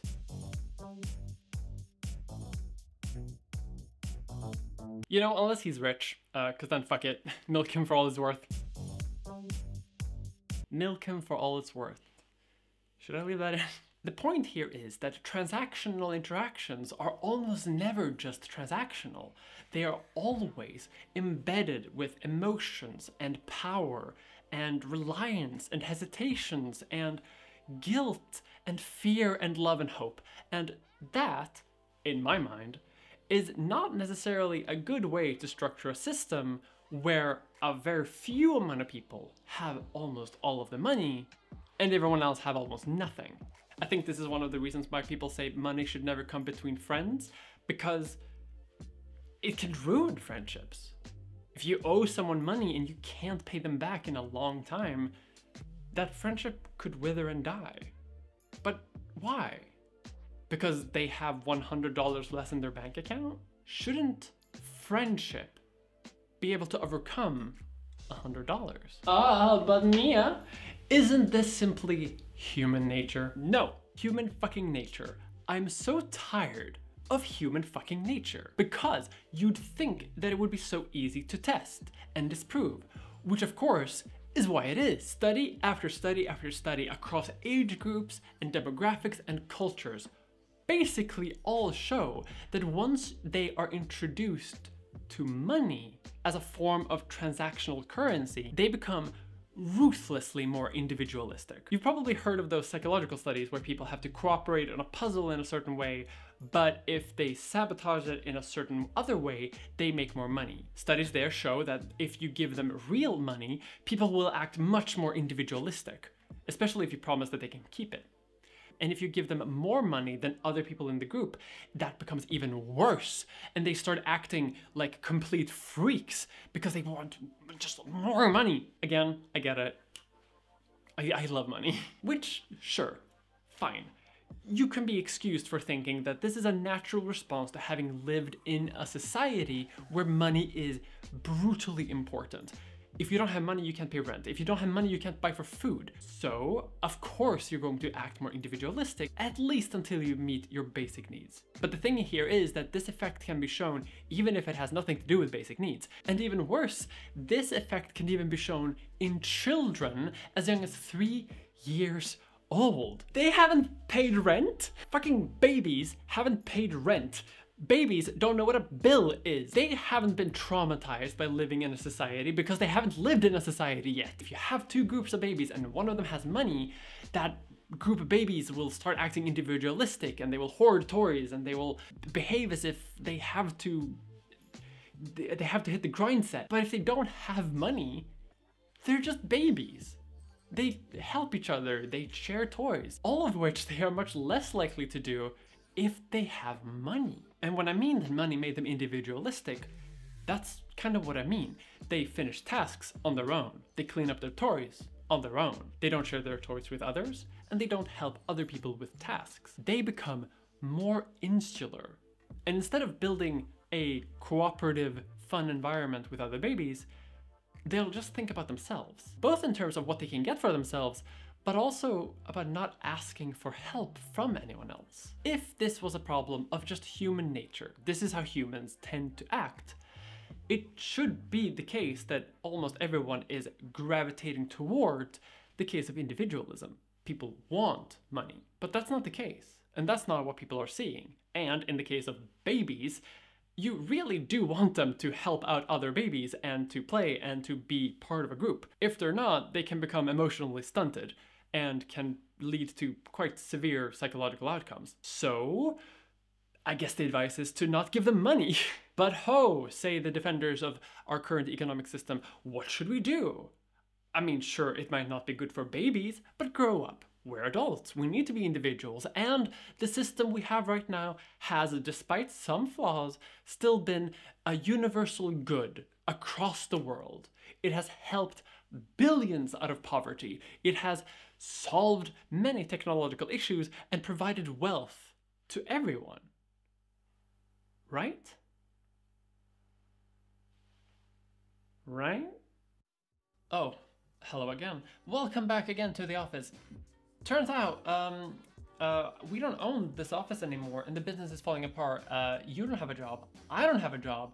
Uh, and it turns out that the concept of jobs don't exist because it turns out that what the economy is, which I hope that you've understood by this point, is not just money. It's not just the stock market. It's not just goods going back and forth. It's all of it and it's none of it. What is the economy? We're like some amount of time into this video and we're still not really closer to figuring out what the economy is or how to use it to make people's lives better. So what's really the point? The market is just the market. And the market has become the economy and the economy has become the market. And its spectral, ghostly hand strangles us every single day with its whims and whimsy and strange market manipulations. So, how can we use the market to actually make our lives better? Well, everyone says that they know how to do it, and yet it never really happens. But despite all of those problems, I mean, what choice do we really have? I'd never. So instead we have to work within the system that we have. I guess. Reluctantly, but Mia, what about all the positives it has done? Capitalism has, for example, lifted billions out of poverty. The fact is that capitalism has raised half the globe out of abject poverty in the last 40 years alone. But has it? According to the World Bank, the proportion of the world population in extreme poverty declined from 36% of all human beings on the planet in 1990 to 10% as of 2015. Has it really, though? That is due to free markets and capitalism. There is no redistribution program in the history of mankind that could have even remotely done anything like this. Look at this graph. Surely it shows that millions have been saved from abject poverty. But it's important to remember that the limit for what counts as poverty is commonly $1.90 a day. Could you live on $1.90 a day? For reference, that's a bit less than $700 a year. And if you put the poverty line at that level, it doesn't seem genuine that capitalism has lifted millions out of it. It may have lifted millions over that line, but that's not enough. Surely, claims like this tend to mislead you about the importance and effectiveness of the current economic system. Or let's talk about something that's more applicable to maybe people watching this video, because people who watch this video are typically uh, a bit more wealthy uh, than the average person. I know because I did market analysis on all of you. Also, like, a surprising amount of you are bisexual. Like, I'm not complaining, but like, why are so many of you bisexual? I le le legitimately, I would like to know this. Let's talk about inflation, because you may think that inflation is pretty easy to understand. If there's more money in the system, then goods in that system become less valuable in relation to the total amount of money. But that don't that doesn't make sense. Like you'll see landlords racking up the prices by ungodly amounts, oftentimes above the rate of inflation as it actually is. Did the supply of housing just collapse in relation to the amount of money? What what happened? Or let's talk about food. A lot of foodstuffs have gotten more expensive lately because of some certain events. So again, very understandable. But then why the fuck do massive grocery companies make billions and billions of dollars. How come that the companies that should be the most affected by the ongoing economic turmoil seem to be doing the best. During the last fucking global pandemic, billions of dollars of wealth was transferred from the poorest people to the richest. Companies made more money, but you made less. People got poorer, but rich people got richer. Is that a effective distribution of goods and resources? Or is that simply corporate greed using global emergencies in order to rack up the price and extort you? None of this is, of course, illegal, but a lot of times big financial actors also just lie to make more money. The subprime mortgage crisis, which kind of turmoiled the entire world economy for a little bit, happened because big financial actors decided to lie to each other and to the government and to investigative outlets and to people and to everyone to give out loans that they knew people couldn't pay back.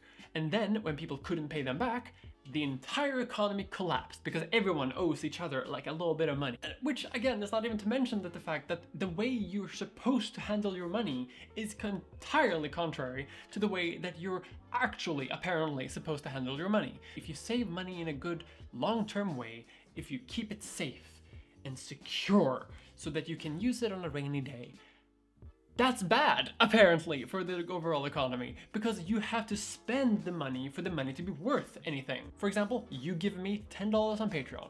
Thank you very much. I spend that $10 on buying vape juice at the local vape store. They take those $10 and spend it on something else. And then they spend it on something else, and everyone gets to have a nice flowing economy based on those $10 that you gave me. But this is, everyone tells us, irresponsible spending you should save your money.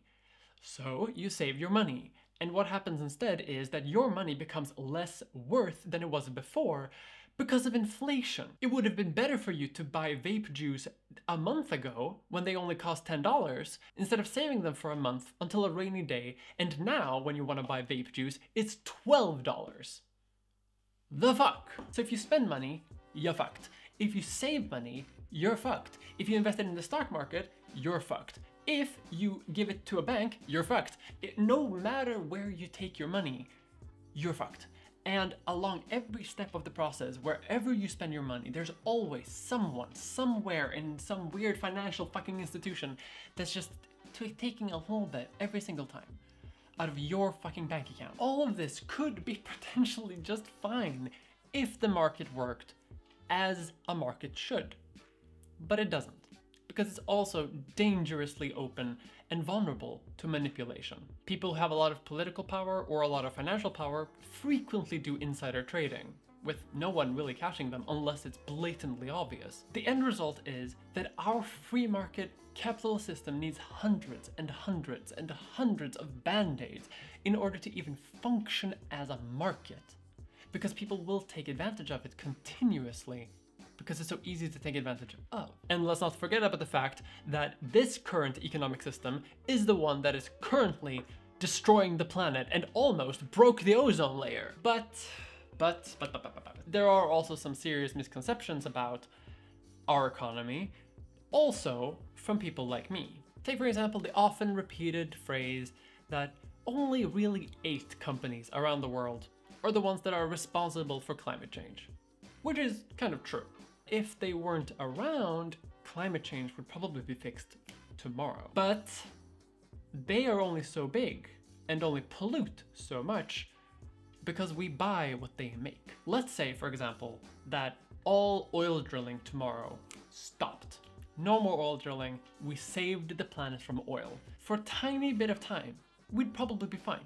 The world would truck on as it had before. But a lot of other industrial sectors require the products that are made from oil, including things like agriculture, construction, electricity, power. And without that oil, those sectors start falling apart. We have rolling blackouts, we have mass starvation all around the world. Not necessarily because we need food and hospitals to run on electricity, for example, but by the fact that you want to drive a car, you want to put fuel in that car, you want to eat a hamburger. and so does your neighbor, and your neighbor's neighbor, and your neighbor's neighbor's neighbor, and your neighbor's neighbor's neighbor's neighbor, and everyone. Over time, that adds up. It adds up to that. People tend to bring up that factoid as a response to other people saying that maybe you need to cut out meat from your diet in order to help the planet. Well, this person says it's not really the individual's responsibility, but it's not the individual's responsibility, but these companies wouldn't make these pollutions if you didn't have your habit. One massive source of pollution is the agricultural sector. Tractors and trucks and the machinery used to plow the fields run on diesel. And that a significant portion of the food that we grow we don't eat because it goes to animals that we then eat. And if we didn't eat animals, then, you know, we wouldn't have that. But I do feel the need to say, I eat meat occasionally, like I'll have a hamburger. Sometimes you just want a fucking steak, you know what I mean? Some salami. Surely it's not my fault for having little salami that the world is falling apart. Actually, it's not. Because you know what? that whole thing I said before about like how individual trends tend to impact the global economy and therefore you do have an individual responsibility, that's not wrong necessarily, but the vast, vast majority of individual consumer trends have no impact on the global economy. Fast fashion brands like H&M and other companies will sometimes make way, way too many shirts than they could ever reasonably sell. If you don't buy it, or if basically no one buys it, they don't care. Eventually, someone might buy it. And if they don't, they just end up in the landfill, and they're cheap enough. The economy of scale here, in relation to fast fashion, doesn't care about what you do. It doesn't care about what thousands of people do. A while ago, there was a moment when the price of crude oil went into the negatives. They would give you money for buying oil. And this is because the oil wells that a lot of people make tend to just continuously produce oil. If you stop an oil well, that's gonna take time. Time that could be profitable. So, even if it's not, you just keep going. Why would you close it up? It's gonna be profitable in a minute anyway. Sure, it's a waste of oil and other resources, but that's fine. At worst, the people in charge of the companies just fire a few poor people and the machine keeps on trucking and trucking and trucking. And it never, ever slows down. Ah! Okay, fuckers, you get costume changes. Do you like costume changes? Do you fucking like it when the costume changes? I don't have sets. Now, we've talked a lot about the ghostly hand of the market giving everyone their just deserts. But there's another haunter we haven't talked about yet the specter of communism. It's very easy to look at the entire scope of the economy and the way that it works and the way that it doesn't work and conclude that it's all a failure. As we've seen, money has power over individual lives, our entire world, and even our own minds. So it's no wonder that a lot of edgy teens on TikTok instead of finding ways to try to improve the economy, instead just give up on it. This is often framed as a choice between two paths. One, complete doomerism. You can't fix it, the rich are gonna keep getting richer, they're gonna go off to their fucking pedophile islands, and you will never be able to fix it. Die. The other is let's grab a gun and let's burn this shit down. Let's all get a small house in the middle of the country. We'll grow our own food. We'll all live in the commune. This is sometimes framed as degrowth, meaning that we have to degrow the economy in order to make it sustainable. And that's fine. I'm not going to argue necessarily against that as a economic ideology. Honestly, I would say it's better than what we have right now but I want to present some other choices as well. Because it seems, at least on TikTok, where I spend a significant amount of my free time right now, that those are the only choices that people seem to think are reasonable. Because what if we could use the economy for good? As I mentioned at the very beginning of this video, the economy is simply enough the way that you distribute resources throughout society the way that you make sure that people get what they need. And a market is fine. You just go to a market and you exchange some of your own wealth or material resources in exchange for something you need. That way it becomes very quickly responsive. Well, this is where we get into talking about leftism, socialism, Marxism, or even communism, or whatever you would like to call it. I, because I am an elected official in a party that has a history, I am not going to say which one I prefer. Occasionally I'll hear murmurings about a left-wing version of the stock market, but doing research for this video and which has taken quite a long time, but maybe I'm just stupid, I can't really find like a pretty good argument for it. I mean, sure, there are a few. For example, you could invest more in companies that you would like. Small local companies that you would then have a collective ownership of. I mean, collective ownership, I mean, isn't that really what socialism is about? Let's say that there's a company, and instead of like the founder of the company owning and having total control of that company, you could, hypothetically, also be a owner of that company. Depending on how much effort you've invested into the company, you would get a certain amount of representation out of it, which is kind of like collective ownership. No, wait, that's just the stock market. I think what people are trying to say then is that you would want employee ownership over certain companies that you would have power within that company. And just as we have democracy in our political world, you would also have democracy at the workplace. But Mia, isn't that socialism? And isn't socialism communism? No, no, no, no, no, no, no, no, no. Quiet down, quiet down. You're all wrong. Socialism is when the government does stuff and it's more socialist the more stuff it does. And if it does a whole lot of stuff, then it's communism. Maybe. But maybe not. It's important to know that terms like socialism and communism have radically different meanings depending on who you ask and depending on when you ask it. Before the advent of the Soviet Union, communism had a lot of different meanings, depending on a lot of different leftist movements. It could mean a centralized government that did the choices for you, and the government then is a representative of the people generally. But it could also mean that each individual profession could organize within themselves and those professions would bind together to form a cooperative society, kind of like a state, but where each profession had a democratic input on that state. It could mean that towns and villages would organize themselves in whatever way they could and help each other in whichever ways they couldn't, all without any type of supreme authority. If you want to be a leftist, odds are you're probably gonna fall in one of these categories. But there's a fourth one that could work as part of one of these or as a part of its own, but it could also work as part of a market economy, but not as like other market economies would work. I'm talking about cooperatives.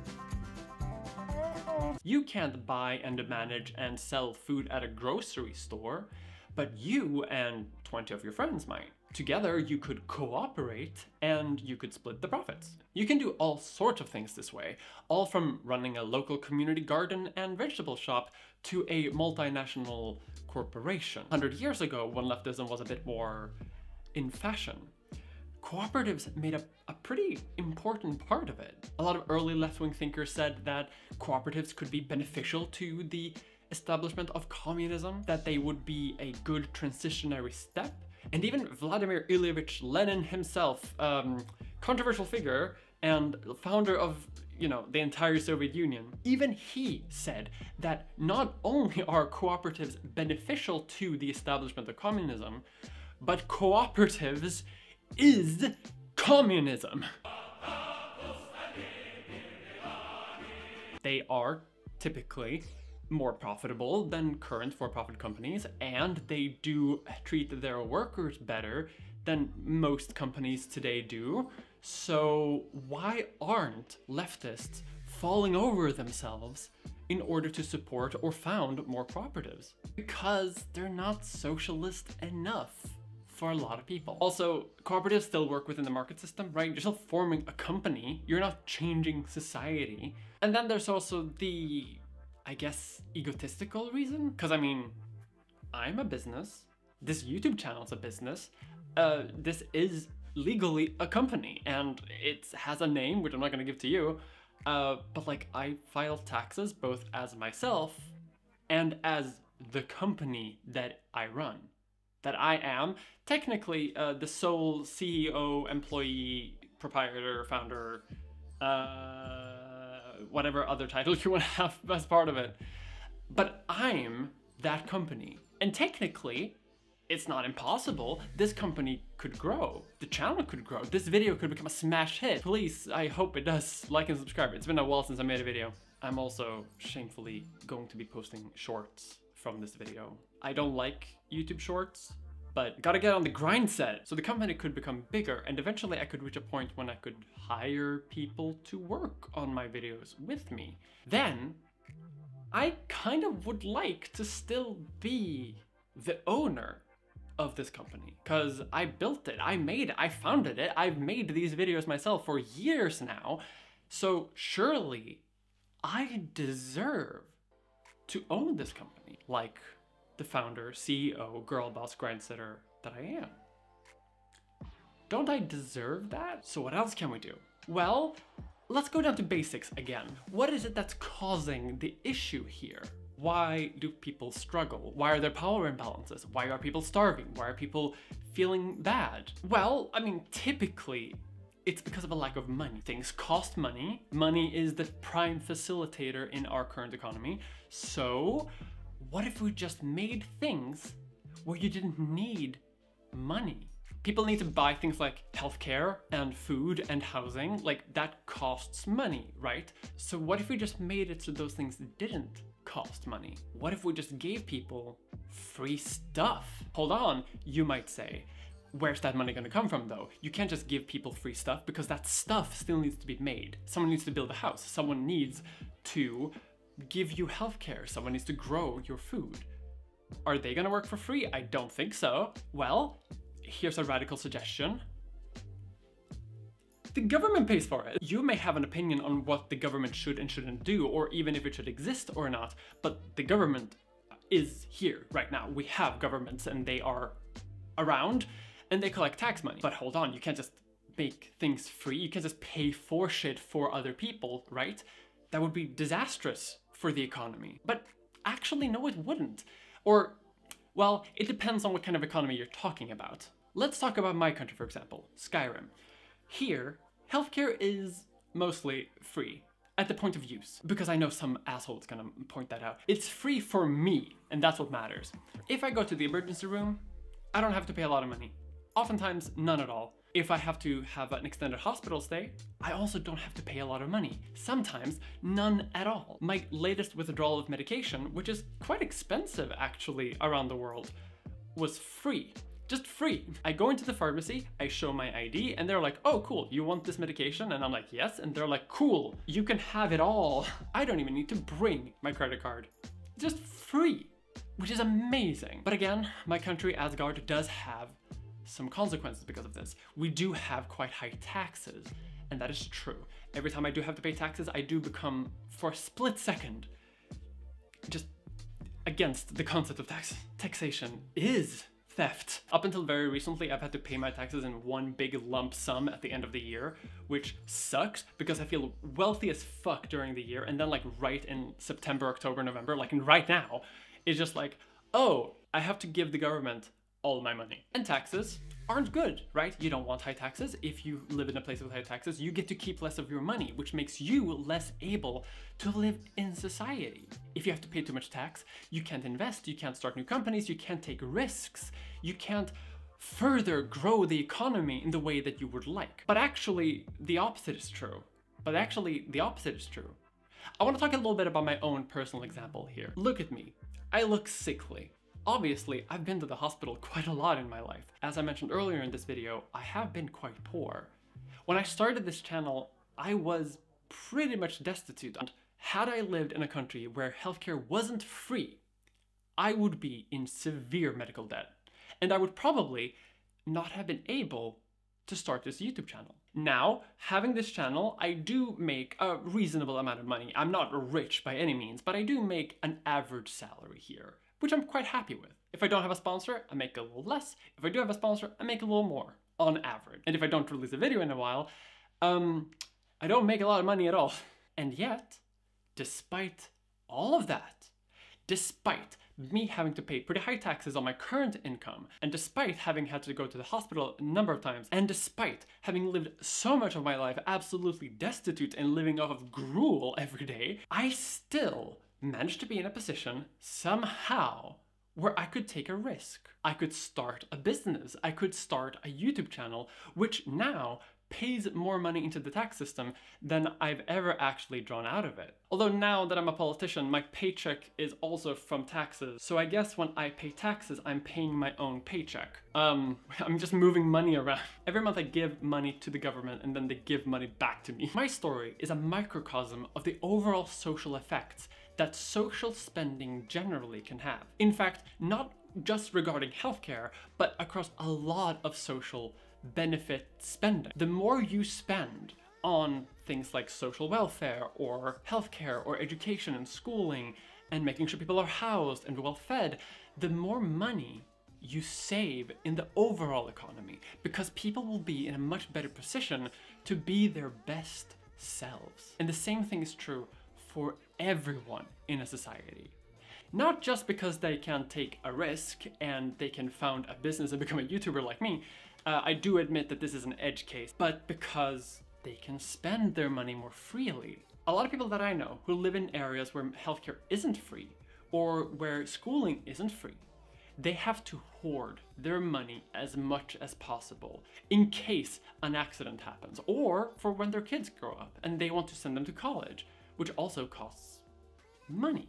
But if that had been free, paid for by the government, suddenly those savings can go into something else. You can maybe invest in the stock market if that's what you want, but you can also just, you know, buy a nicer car, buy a nicer house, buy fancier food, just live a better life because you don't have to save that money. You can do whatever you want with it, frankly, and every month you can do more things. Granted, some of that money would have to go to taxes to pay for that, but you would still have more money to spend. And as we mentioned from the very beginning, money is only worth anything if you spend it. Now this isn't just me saying, woo, welfare, I love welfare, even though of course I do, but it's also backed up by study. Tons of studies. Study after study after study confirms this. But how do you make sure only the people who deserve a free education, free healthcare, are the ones who get it? But ah, taxes.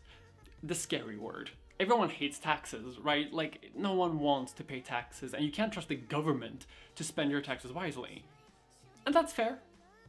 That's not that's not wrong. Granted, that is a valid criticism, but it wouldn't cost as much as people think that it would. A lot of times when people make the mental calculation between transitioning from a private healthcare and education sector into a public one, they oftentimes just transition the cost. All the money that is spent in the private sector would suddenly be lumped into taxes, but that's not true. And obviously it's not true because there are so many steps in the process of trying to make money that wouldn't need to be existing in a system where it's all public, where it's all free. I'll admit, when I went to see if I had ADD, which it turns out that I do, the public healthcare sector fucking failed me there because they're so overburdened that they basically don't acknowledge that anyone can have ADD, but not in the way that they expect it to have. And especially not as an adult. They're mostly all focusing on kids. Add to that long wait times and critical underfunding, especially in Stockholm where the right wing has, you know, underfunded healthcare like like there's no tomorrow. And in my case, I kind of figured that I was tired of waiting and I paid for a private healthcare option in order to get medication so that I could eventually finish this video. That's actually why I did it. Uh, I'm kidding, of course, but I do apparently have a lot of ADD. I take such a high dose. It's actually kind of concerning. And what I noticed while trying to find a good private healthcare option is that holy shit, there are so many advertisements. Take for example, just managing various insurance companies or dealing with marketplaces for insurance companies. Here in Sweden, for example, sure, we have pretty long wait times occasionally, but when I compare that system to, for example, American healthcare. Oh, oh. I thank my lucky star. For example, there are entire medical advertisement firms, medical lobbying firms, medical other firms, all of which exist to make you pick them as their healthcare provider. You can have your doctors sometimes prescribe or recommend treatments that you might not actually need, but because they might make more money from it, or because another company might. If you have a public healthcare option where it's free at the point of use, all of those industries don't need to exist anymore. And frankly, the people working within those industries, sure, in the transition from one system to the other, they might lose their jobs, but they might eventually move to another sector where they might actually be a bit more productive in their occupation. Don't get me wrong, insurance salesman is a fine profession, I guess, but you gotta admit, competing with other insurance companies to get the most amount of money out of you for the best deal for them, that's not really providing, I don't know, a good for the world. All of those industries could be eliminated and what you're left with is just the healthcare provision. Or let's turn it around on the other side of it. I know personally many American friends who have not sought out healthcare because they're worried about medical debt.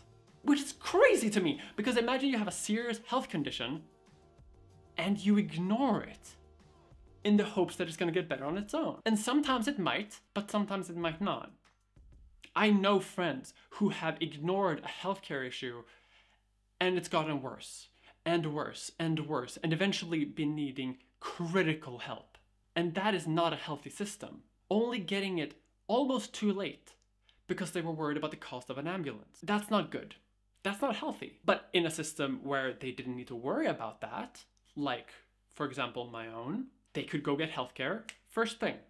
You're worried about something? Go check it out. No problem. Sure, you might have to wait a lot unless it's a critical condition, because people with critical conditions obviously need to take priority, but like, you'll get help eventually for free. And if it is something, they can fix it. And then you can go back and be a healthy, productive member of society. Thinking just in terms of raw, crude numbers here, which economists love to do, this is the more productive outcome because the best outcome for the economy is a healthy workforce. Now, to be clear, I'm not saying that you need to be a productive member of society in order to be like a worthy person, but from a purely economic macro perspective, the more people working, the better. And the healthier people are, the more people are going to work. So it makes basic economic sense to lower the barrier of entry as much as possible. And if you really want to get into the weeds, let's circle back to power again.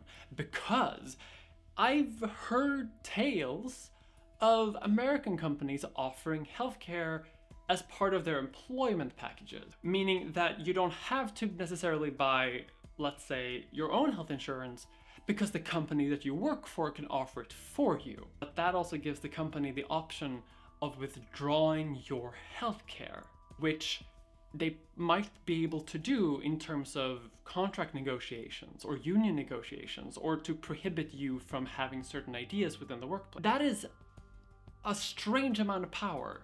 That is close in my mind almost to being a serf. I personally know one or two trans women who have left more paying jobs, not super much, but somewhat more paying jobs, to go work at Starbucks because the Starbucks health insurance plan gives you a lot of gender affirming healthcare options.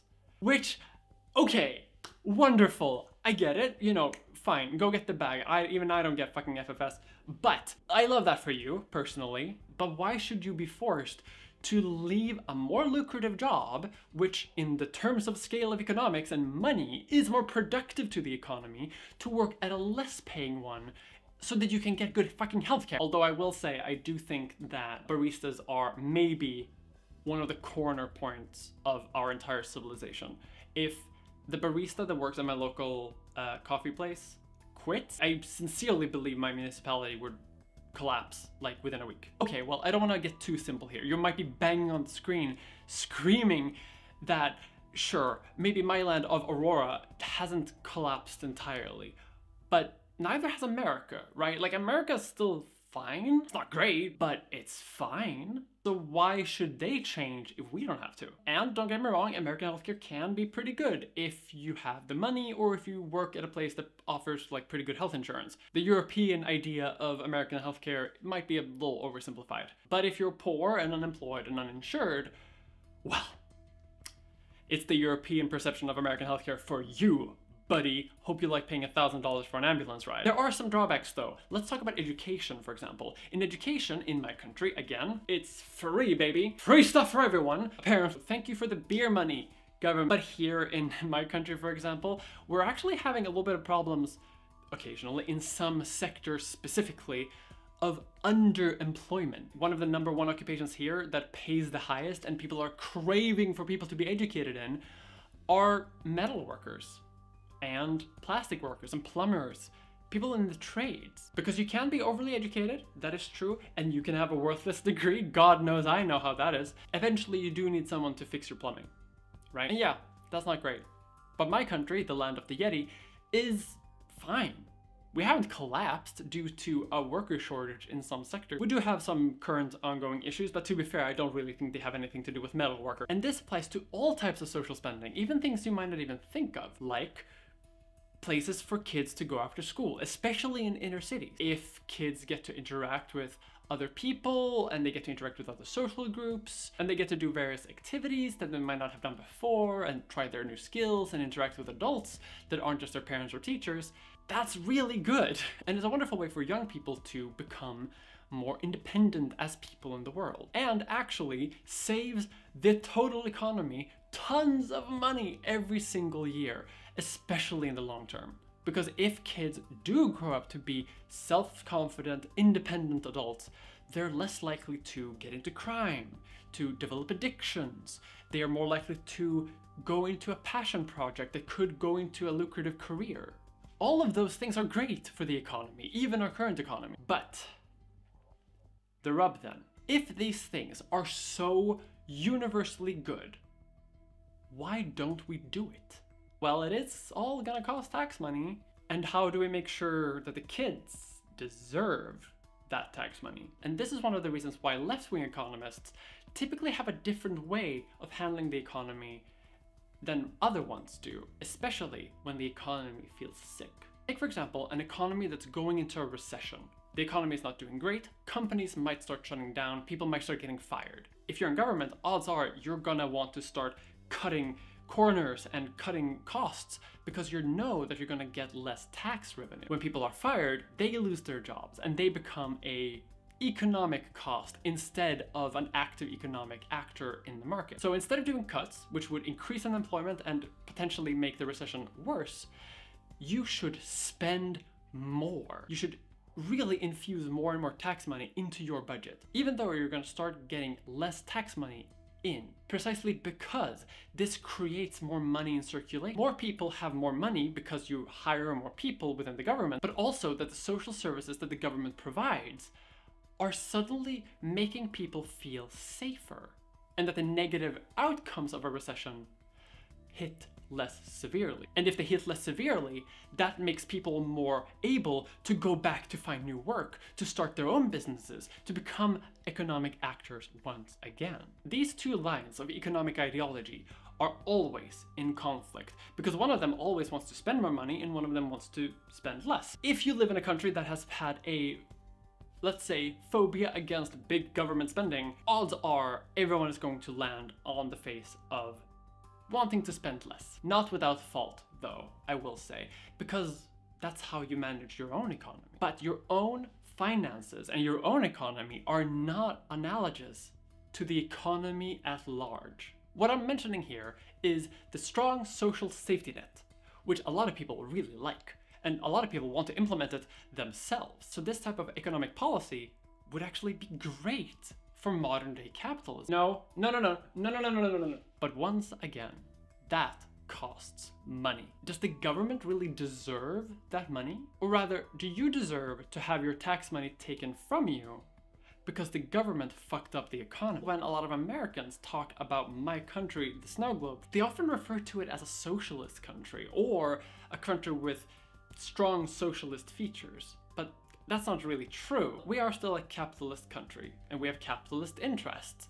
And a lot of these social safety nets are being undermined by those interests so that they can justify lowering taxes. People who are poor are not getting the things that they always need. We still have economic inequality, quite severe economic inequality, in fact. And frankly, I feel like a lot of people want to turn us into like America light. It's not the utopia, it's not socialism, it's not perfect we haven't solved the economy either. And even if we had a stronger social safety net, that doesn't necessarily mean that all problems would be solved. People would still be poor, right? Sure, health, but if you don't have a job, you still won't be able to afford rent. Or you might not be able to afford food. Sure, we could go crazy with it, and let's pretend for a moment, right? Let's pretend that we could also make food and housing free. We can make the internet free. Oh, what a world, right? But alas, if only I actually had any real political power. And yeah, we could structure society like that, but it would probably be quite easy to take advantage of. Not just because we are a people that are selfish and unreliable, which I do think Swedes are, but but rather because we live next to countries where they have markets. What would stop a person from going into the government food store, loading up their truck with a bunch of free food, and just driving to Norway and selling it in their grocery store? Sure, you could have a bunch of checks and balances there to make sure that doesn't happen, but then again, you end up with the problem of having a bunch of admin and that's the thing we're trying to cut. We're trying to make things more simple so that the economy becomes more efficient. But how do we do it then? But the twist is, we already have a system to administer all of that kind of stuff.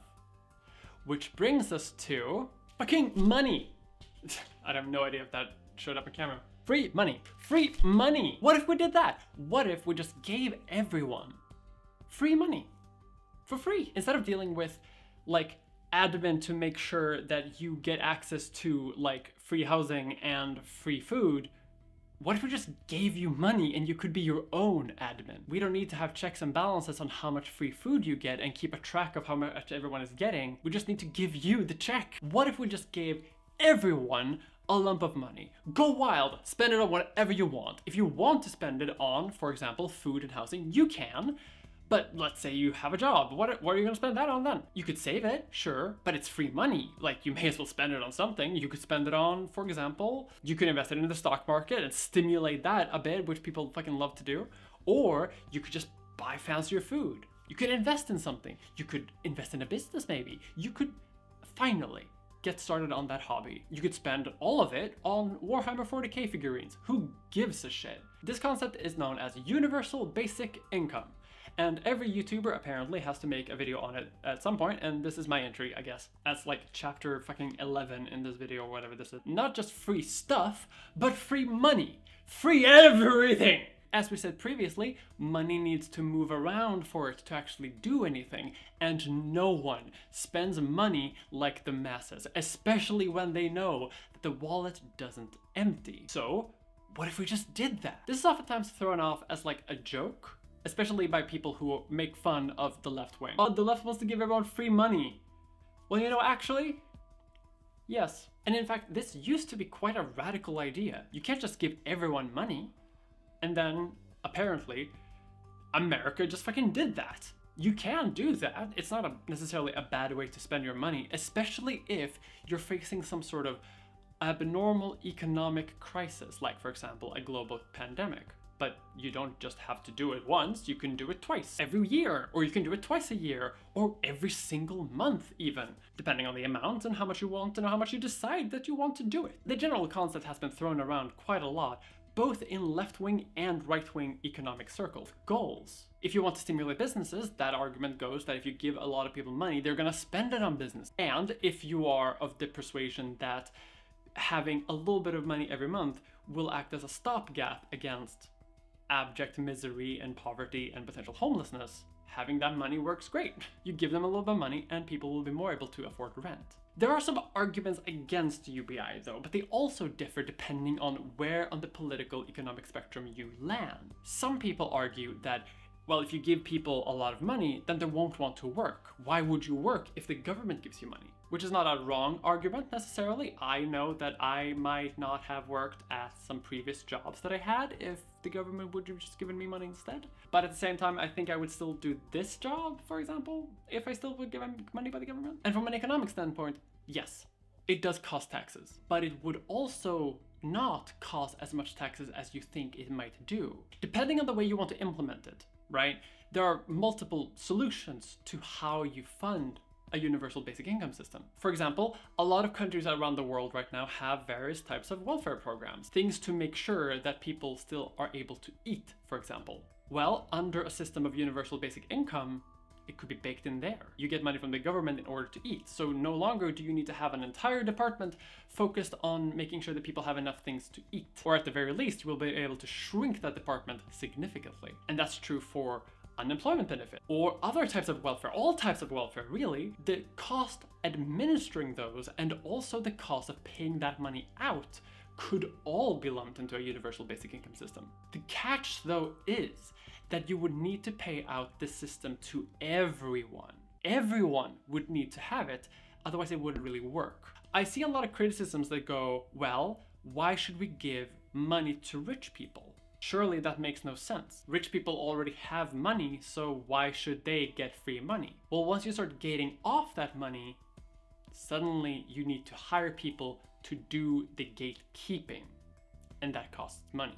Money you could just spend on everyone in the first place. I hear a similar argument quite frequently actually about America and free tuition. People will say that it's a bad idea to make university educations free because rich people would get a bonus. Currently, rich people are the ones that predominantly do go to university, and why should we give them the benefit? Just make school free for the poor, and the rich people can keep paying for it. And the same problem comes up. You need to start administering the gatekeeping. And once you start administering the gatekeeping, well, suddenly you have to draw a line of where the gate goes. And once you start deciding that kind of stuff, well, you have to have a public debate about where that goes. And some people might have arguments back and forth, and some people might cheat the system, and then you need to catch those people. The point here is that, yes, sure, technically, rich people would also get it, but it's simpler and streamlined and cheaper for everyone. Everyone! If it just goes out to everyone. It probably wouldn't make that much of a difference in the household of someone rich, but it would make the world of difference for someone who's poor.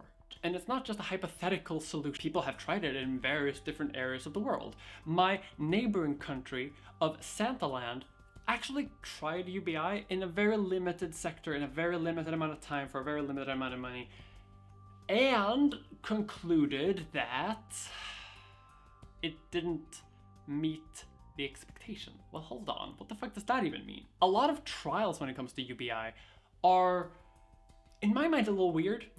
because they will focus predominantly on the economic activity of the people who actually receive it. And there's usually a very small amount of people who actually receive the money. Because, well, you don't want to spend too much of taxpayers' dollars on a trial on something. How do they measure the success? Well, they do often measure the success in terms of the stress of the participants and the mental health and the physical health of the participants, and also in the economic activity, the risk taking, the way they save, the way they spend. How do the results look? Well, a lot of the time, not good enough. Apparently, they say that UBI is not doing the most that it could. But a lot of results also claim that the stress of the participants went down, that the health of the participants went up, and that the participants felt safer and more reliable and could spend more money on, for example, paying off debts or paying rent. But those things aren't necessarily counted as a success when you're only looking on the return on investment. Especially when we're talking about something as nebulous as money in the economy. As fucking always, for like the 15th time I'm saying this, this would also cost tax money. But here's the twist again, just as how we pay for other types of services when we don't get them for free, we also pay for the consequences of those who don't have money now. Take for example the idea that there are many people around the world who don't have homes. They have nowhere to live. And many of them simply say that they just need a place to live, but they can't get one. Turns out you need money and rents can be quite high as we've discussed and seen. So, what do you do? Do they get a job? Well, how do they get a job without an apartment? Where should they send the contract for you to sign? That's quite difficult. Okay, well, welfare then. Well, same problem, isn't it? How are you going to administer that money if you can't actually live anywhere? You need to live somewhere first and then be able to build your life around it. But of course, we can't just give them homes, right? Why not? You can just get a home and give it to them. What's wrong with that? Well, that would cost money, you might say. Well, to be fair, we already spend quite a lot of money on people who are homeless, but not by giving them what they need. A lot of money is spent on police restricting them and keeping them away from city centers. A lot of money spent on healthcare provided to people who probably would not have gotten sick the way that they did if they just had a home. Spending money on administrating homeless shelters or for the people who find themselves involved in criminal activity or people who end up in jail because they have to do crimes in order to get the things they need to live. All of those things cost a lot of money and they actually all cost more money than just giving someone a home. If you give someone a home, they'd be fine.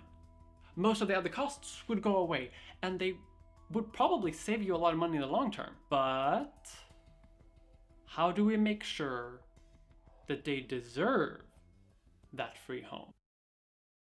I don't I don't have another set. I'm sorry. You you're getting me again. I know. I just wanted a fine transition. As I've said so many times that I'm basically shoving it down your throat, the issue here is rarely ever about the actual cost of the things I'm talking about, but rather about the ideology behind the cost. The ideology that we should not form our society on the basis of everyone having, but everyone deserving to have. And that's the real rub here. Deserving. It can stick in your brain of even quite a lot of smart and reasonable people as well. The psychological thinking of who deserves the measures that we have, when you could, just as well, restrict it to those who've worked to earn it, those who've contributed, the givers. It's like a bug in your brain, and in a lot of people's brains, more so in some than others, but it still sits in a lot of people's brain. Why should they get free stuff? I didn't. I had to work for this channel, for this apartment that I'm recording in. I had to work my ass off. Why do I have to do that? But they get it for free. Huh? That doesn't make any sense. And this is the transactional thought virus to its fullest conclusion. This is why cooperatives are not seen as an attractive alternative to normal corporations. This is why we leave homeless people on the street when we could give them homes. This is why education is sometimes not free. This is why healthcare is oftentimes not free. It's why we structured our society the way that we do. That can be a pretty obvious answer. But I think it's worth pointing out that to the people who sometimes think that they're just thinking about cold hard numbers. But they're really not. Yes, it is true that everything that I've mentioned would make things better for the vast, vast majority of people and society and the poor and the homeless and the sick. But there's one group that it wouldn't get better for. And that's the rich. And the rich are trying to spend so much of their time and effort and money to argue that if you do any one of these systems, you will get poorer. When the actual situation is that probably they would. And I've seen this phenomenon happen in real life in my role as a politician, where you can show people, black on white, that it would be cheaper to do a certain measure than to not do it. But people will still refuse to acknowledge it on the basis of that they don't deserve to have that measure implemented. Objectively, in the long term, it is cheaper to give the homeless homes, but many have decided that they don't deserve them, and so they don't get them. And we, as a society, have collectively then kind of agreed that we would rather pay more money and have a more inefficient system just to enforce the deserving above actual effectiveness. And this is the transactional mind virus to its fullest conclusion. The idea that unless it's a transaction, it doesn't work. That you need to pay someone and they need to pay you back in the transaction for it to actually be worth something. That you need to see the actual ROI on anything that you do. Giving the homeless homes, for example, doesn't do that because it doesn't show up as a return on investment to not go to the hospital and to not end up in jail. Even though those things would be returns on investments and money saved and better for society in general, but because they're not actual returning on the investment of the home itself, people don't like it. In fact, a lot of people actually advocate occasionally to give the homeless homes, but to have a staggered rent that goes up over time and, and, then up to a certain level so that you do get that ROI. They can only have the apartment for a certain time. They will have to show an income soon enough, or they'll be kicked out and someone else will take it. Someone else more deserving of it which means you're to end up in situations where a homeless person who has been given a home becomes homeless again and kicked out from the apartment that they were given because they were homeless in. I don't care if someone who never wants to work another day in their life ends up in one of those apartments that they give out to the homeless for free. I don't care if a rich person goes to school for free. I don't care if a rich person gets free healthcare because all of that means I don't care about any of that because it means that when you end up in a situation where you need those services, you never have to worry about being deserving enough. And because of the transactional nature of every economic activity that we do, we start to think that the spectral, ghostly hand of the market is actually giving out that deserving. That those who deserve it they will get it. If you work hard, you will succeed. If you manage your money well, you will do well. But how many people managed their money well and worked hard during the last financial crisis? Due to the subprime mortgage crisis. How many people worked hard, managed their money, worked extra much to make sure that they had enough money and then were fired during COVID. Sometimes even fairly minded, kind, left wing people will also fall into this trap. Sure, we all want fully automated luxury gay space communism, but at a certain end of the day, I mean, not everyone can have a free apartment. Not everyone can pay higher taxes. Not everyone can have a free education, and everything needs to be paid for somehow. And then the mind virus starts circling its way in. It's not just the material conditions of capital that are causing all of these problems in our society. It's the psychological illness of capitalism. Everything that I've talked about, and other alternatives as well that I haven't, are sometimes very good for the economy. Study after study can show it, and there are multiple other ways to make sure that you can help both people and individuals' economy within a capitalist system even if you don't want to leave it. The reason the very, very rich don't want you to do that is because it would be their money that you would get. Measures like this would be great for the economy, but it wouldn't be good for their economy. They want you to think that the only option here is to manage your money as best as you can and try to work within the system that they set up.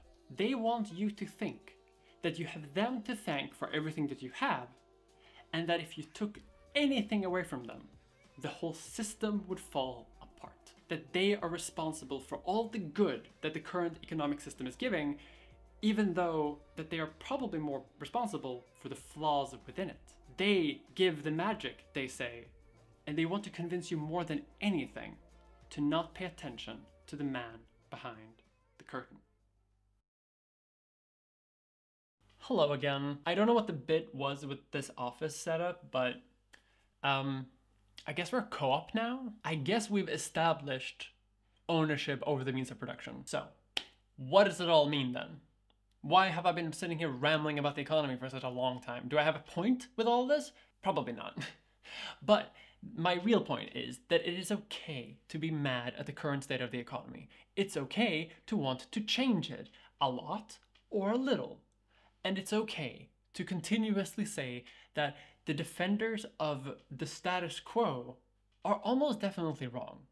And that even if, even if the market worked the way that they say that it works, you're still allowed to criticize it. There are alternatives. There are alternatives with how you want to deal with your goods, your services, and your money. You don't have to buy into the idea that you either like the status quo or you want anarcho primitivism and you want to live in a hole in the ground. That is the framing that the 1% wants you to have, so that you don't question anything at all. And while massive systemic change seems unlikely in the short term, there are some things that you can do to, I don't know, be a nice person with the economy the way that it is. Go help out in a soup kitchen, because the ones that are the poorest among us definitely don't deserve to be the worst affected when the economy has a bad outcome. And invite your friends for soup dinner.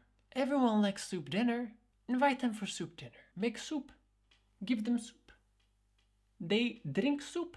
You become better friends. When I was at my brokest, my most poor, I spent a lot of time living on friends' couches. And at the same time, I could easier find a job where I lived. I didn't have to crash at my parents, for example, and take up their limited resources. And eventually, that kind of support from the people around me gave me the opportunity to be able to take a massive risk, which is this YouTube channel. And my friends never had a financial incentive to support me in this way. And my parents didn't have a financial incentive to raise me and support me as an adult when I needed it. But they did it nonetheless, and those things had value. Even if you're a cold hearted calculator for the economy. They had my back. And now, when opportunity presents itself, I can have someone else's back. So, you should also try to have someone else's back too. And that way, maybe they can have your back later on. And even though it's going to be very difficult to abandon money altogether, we can still help each other in the times when we need it.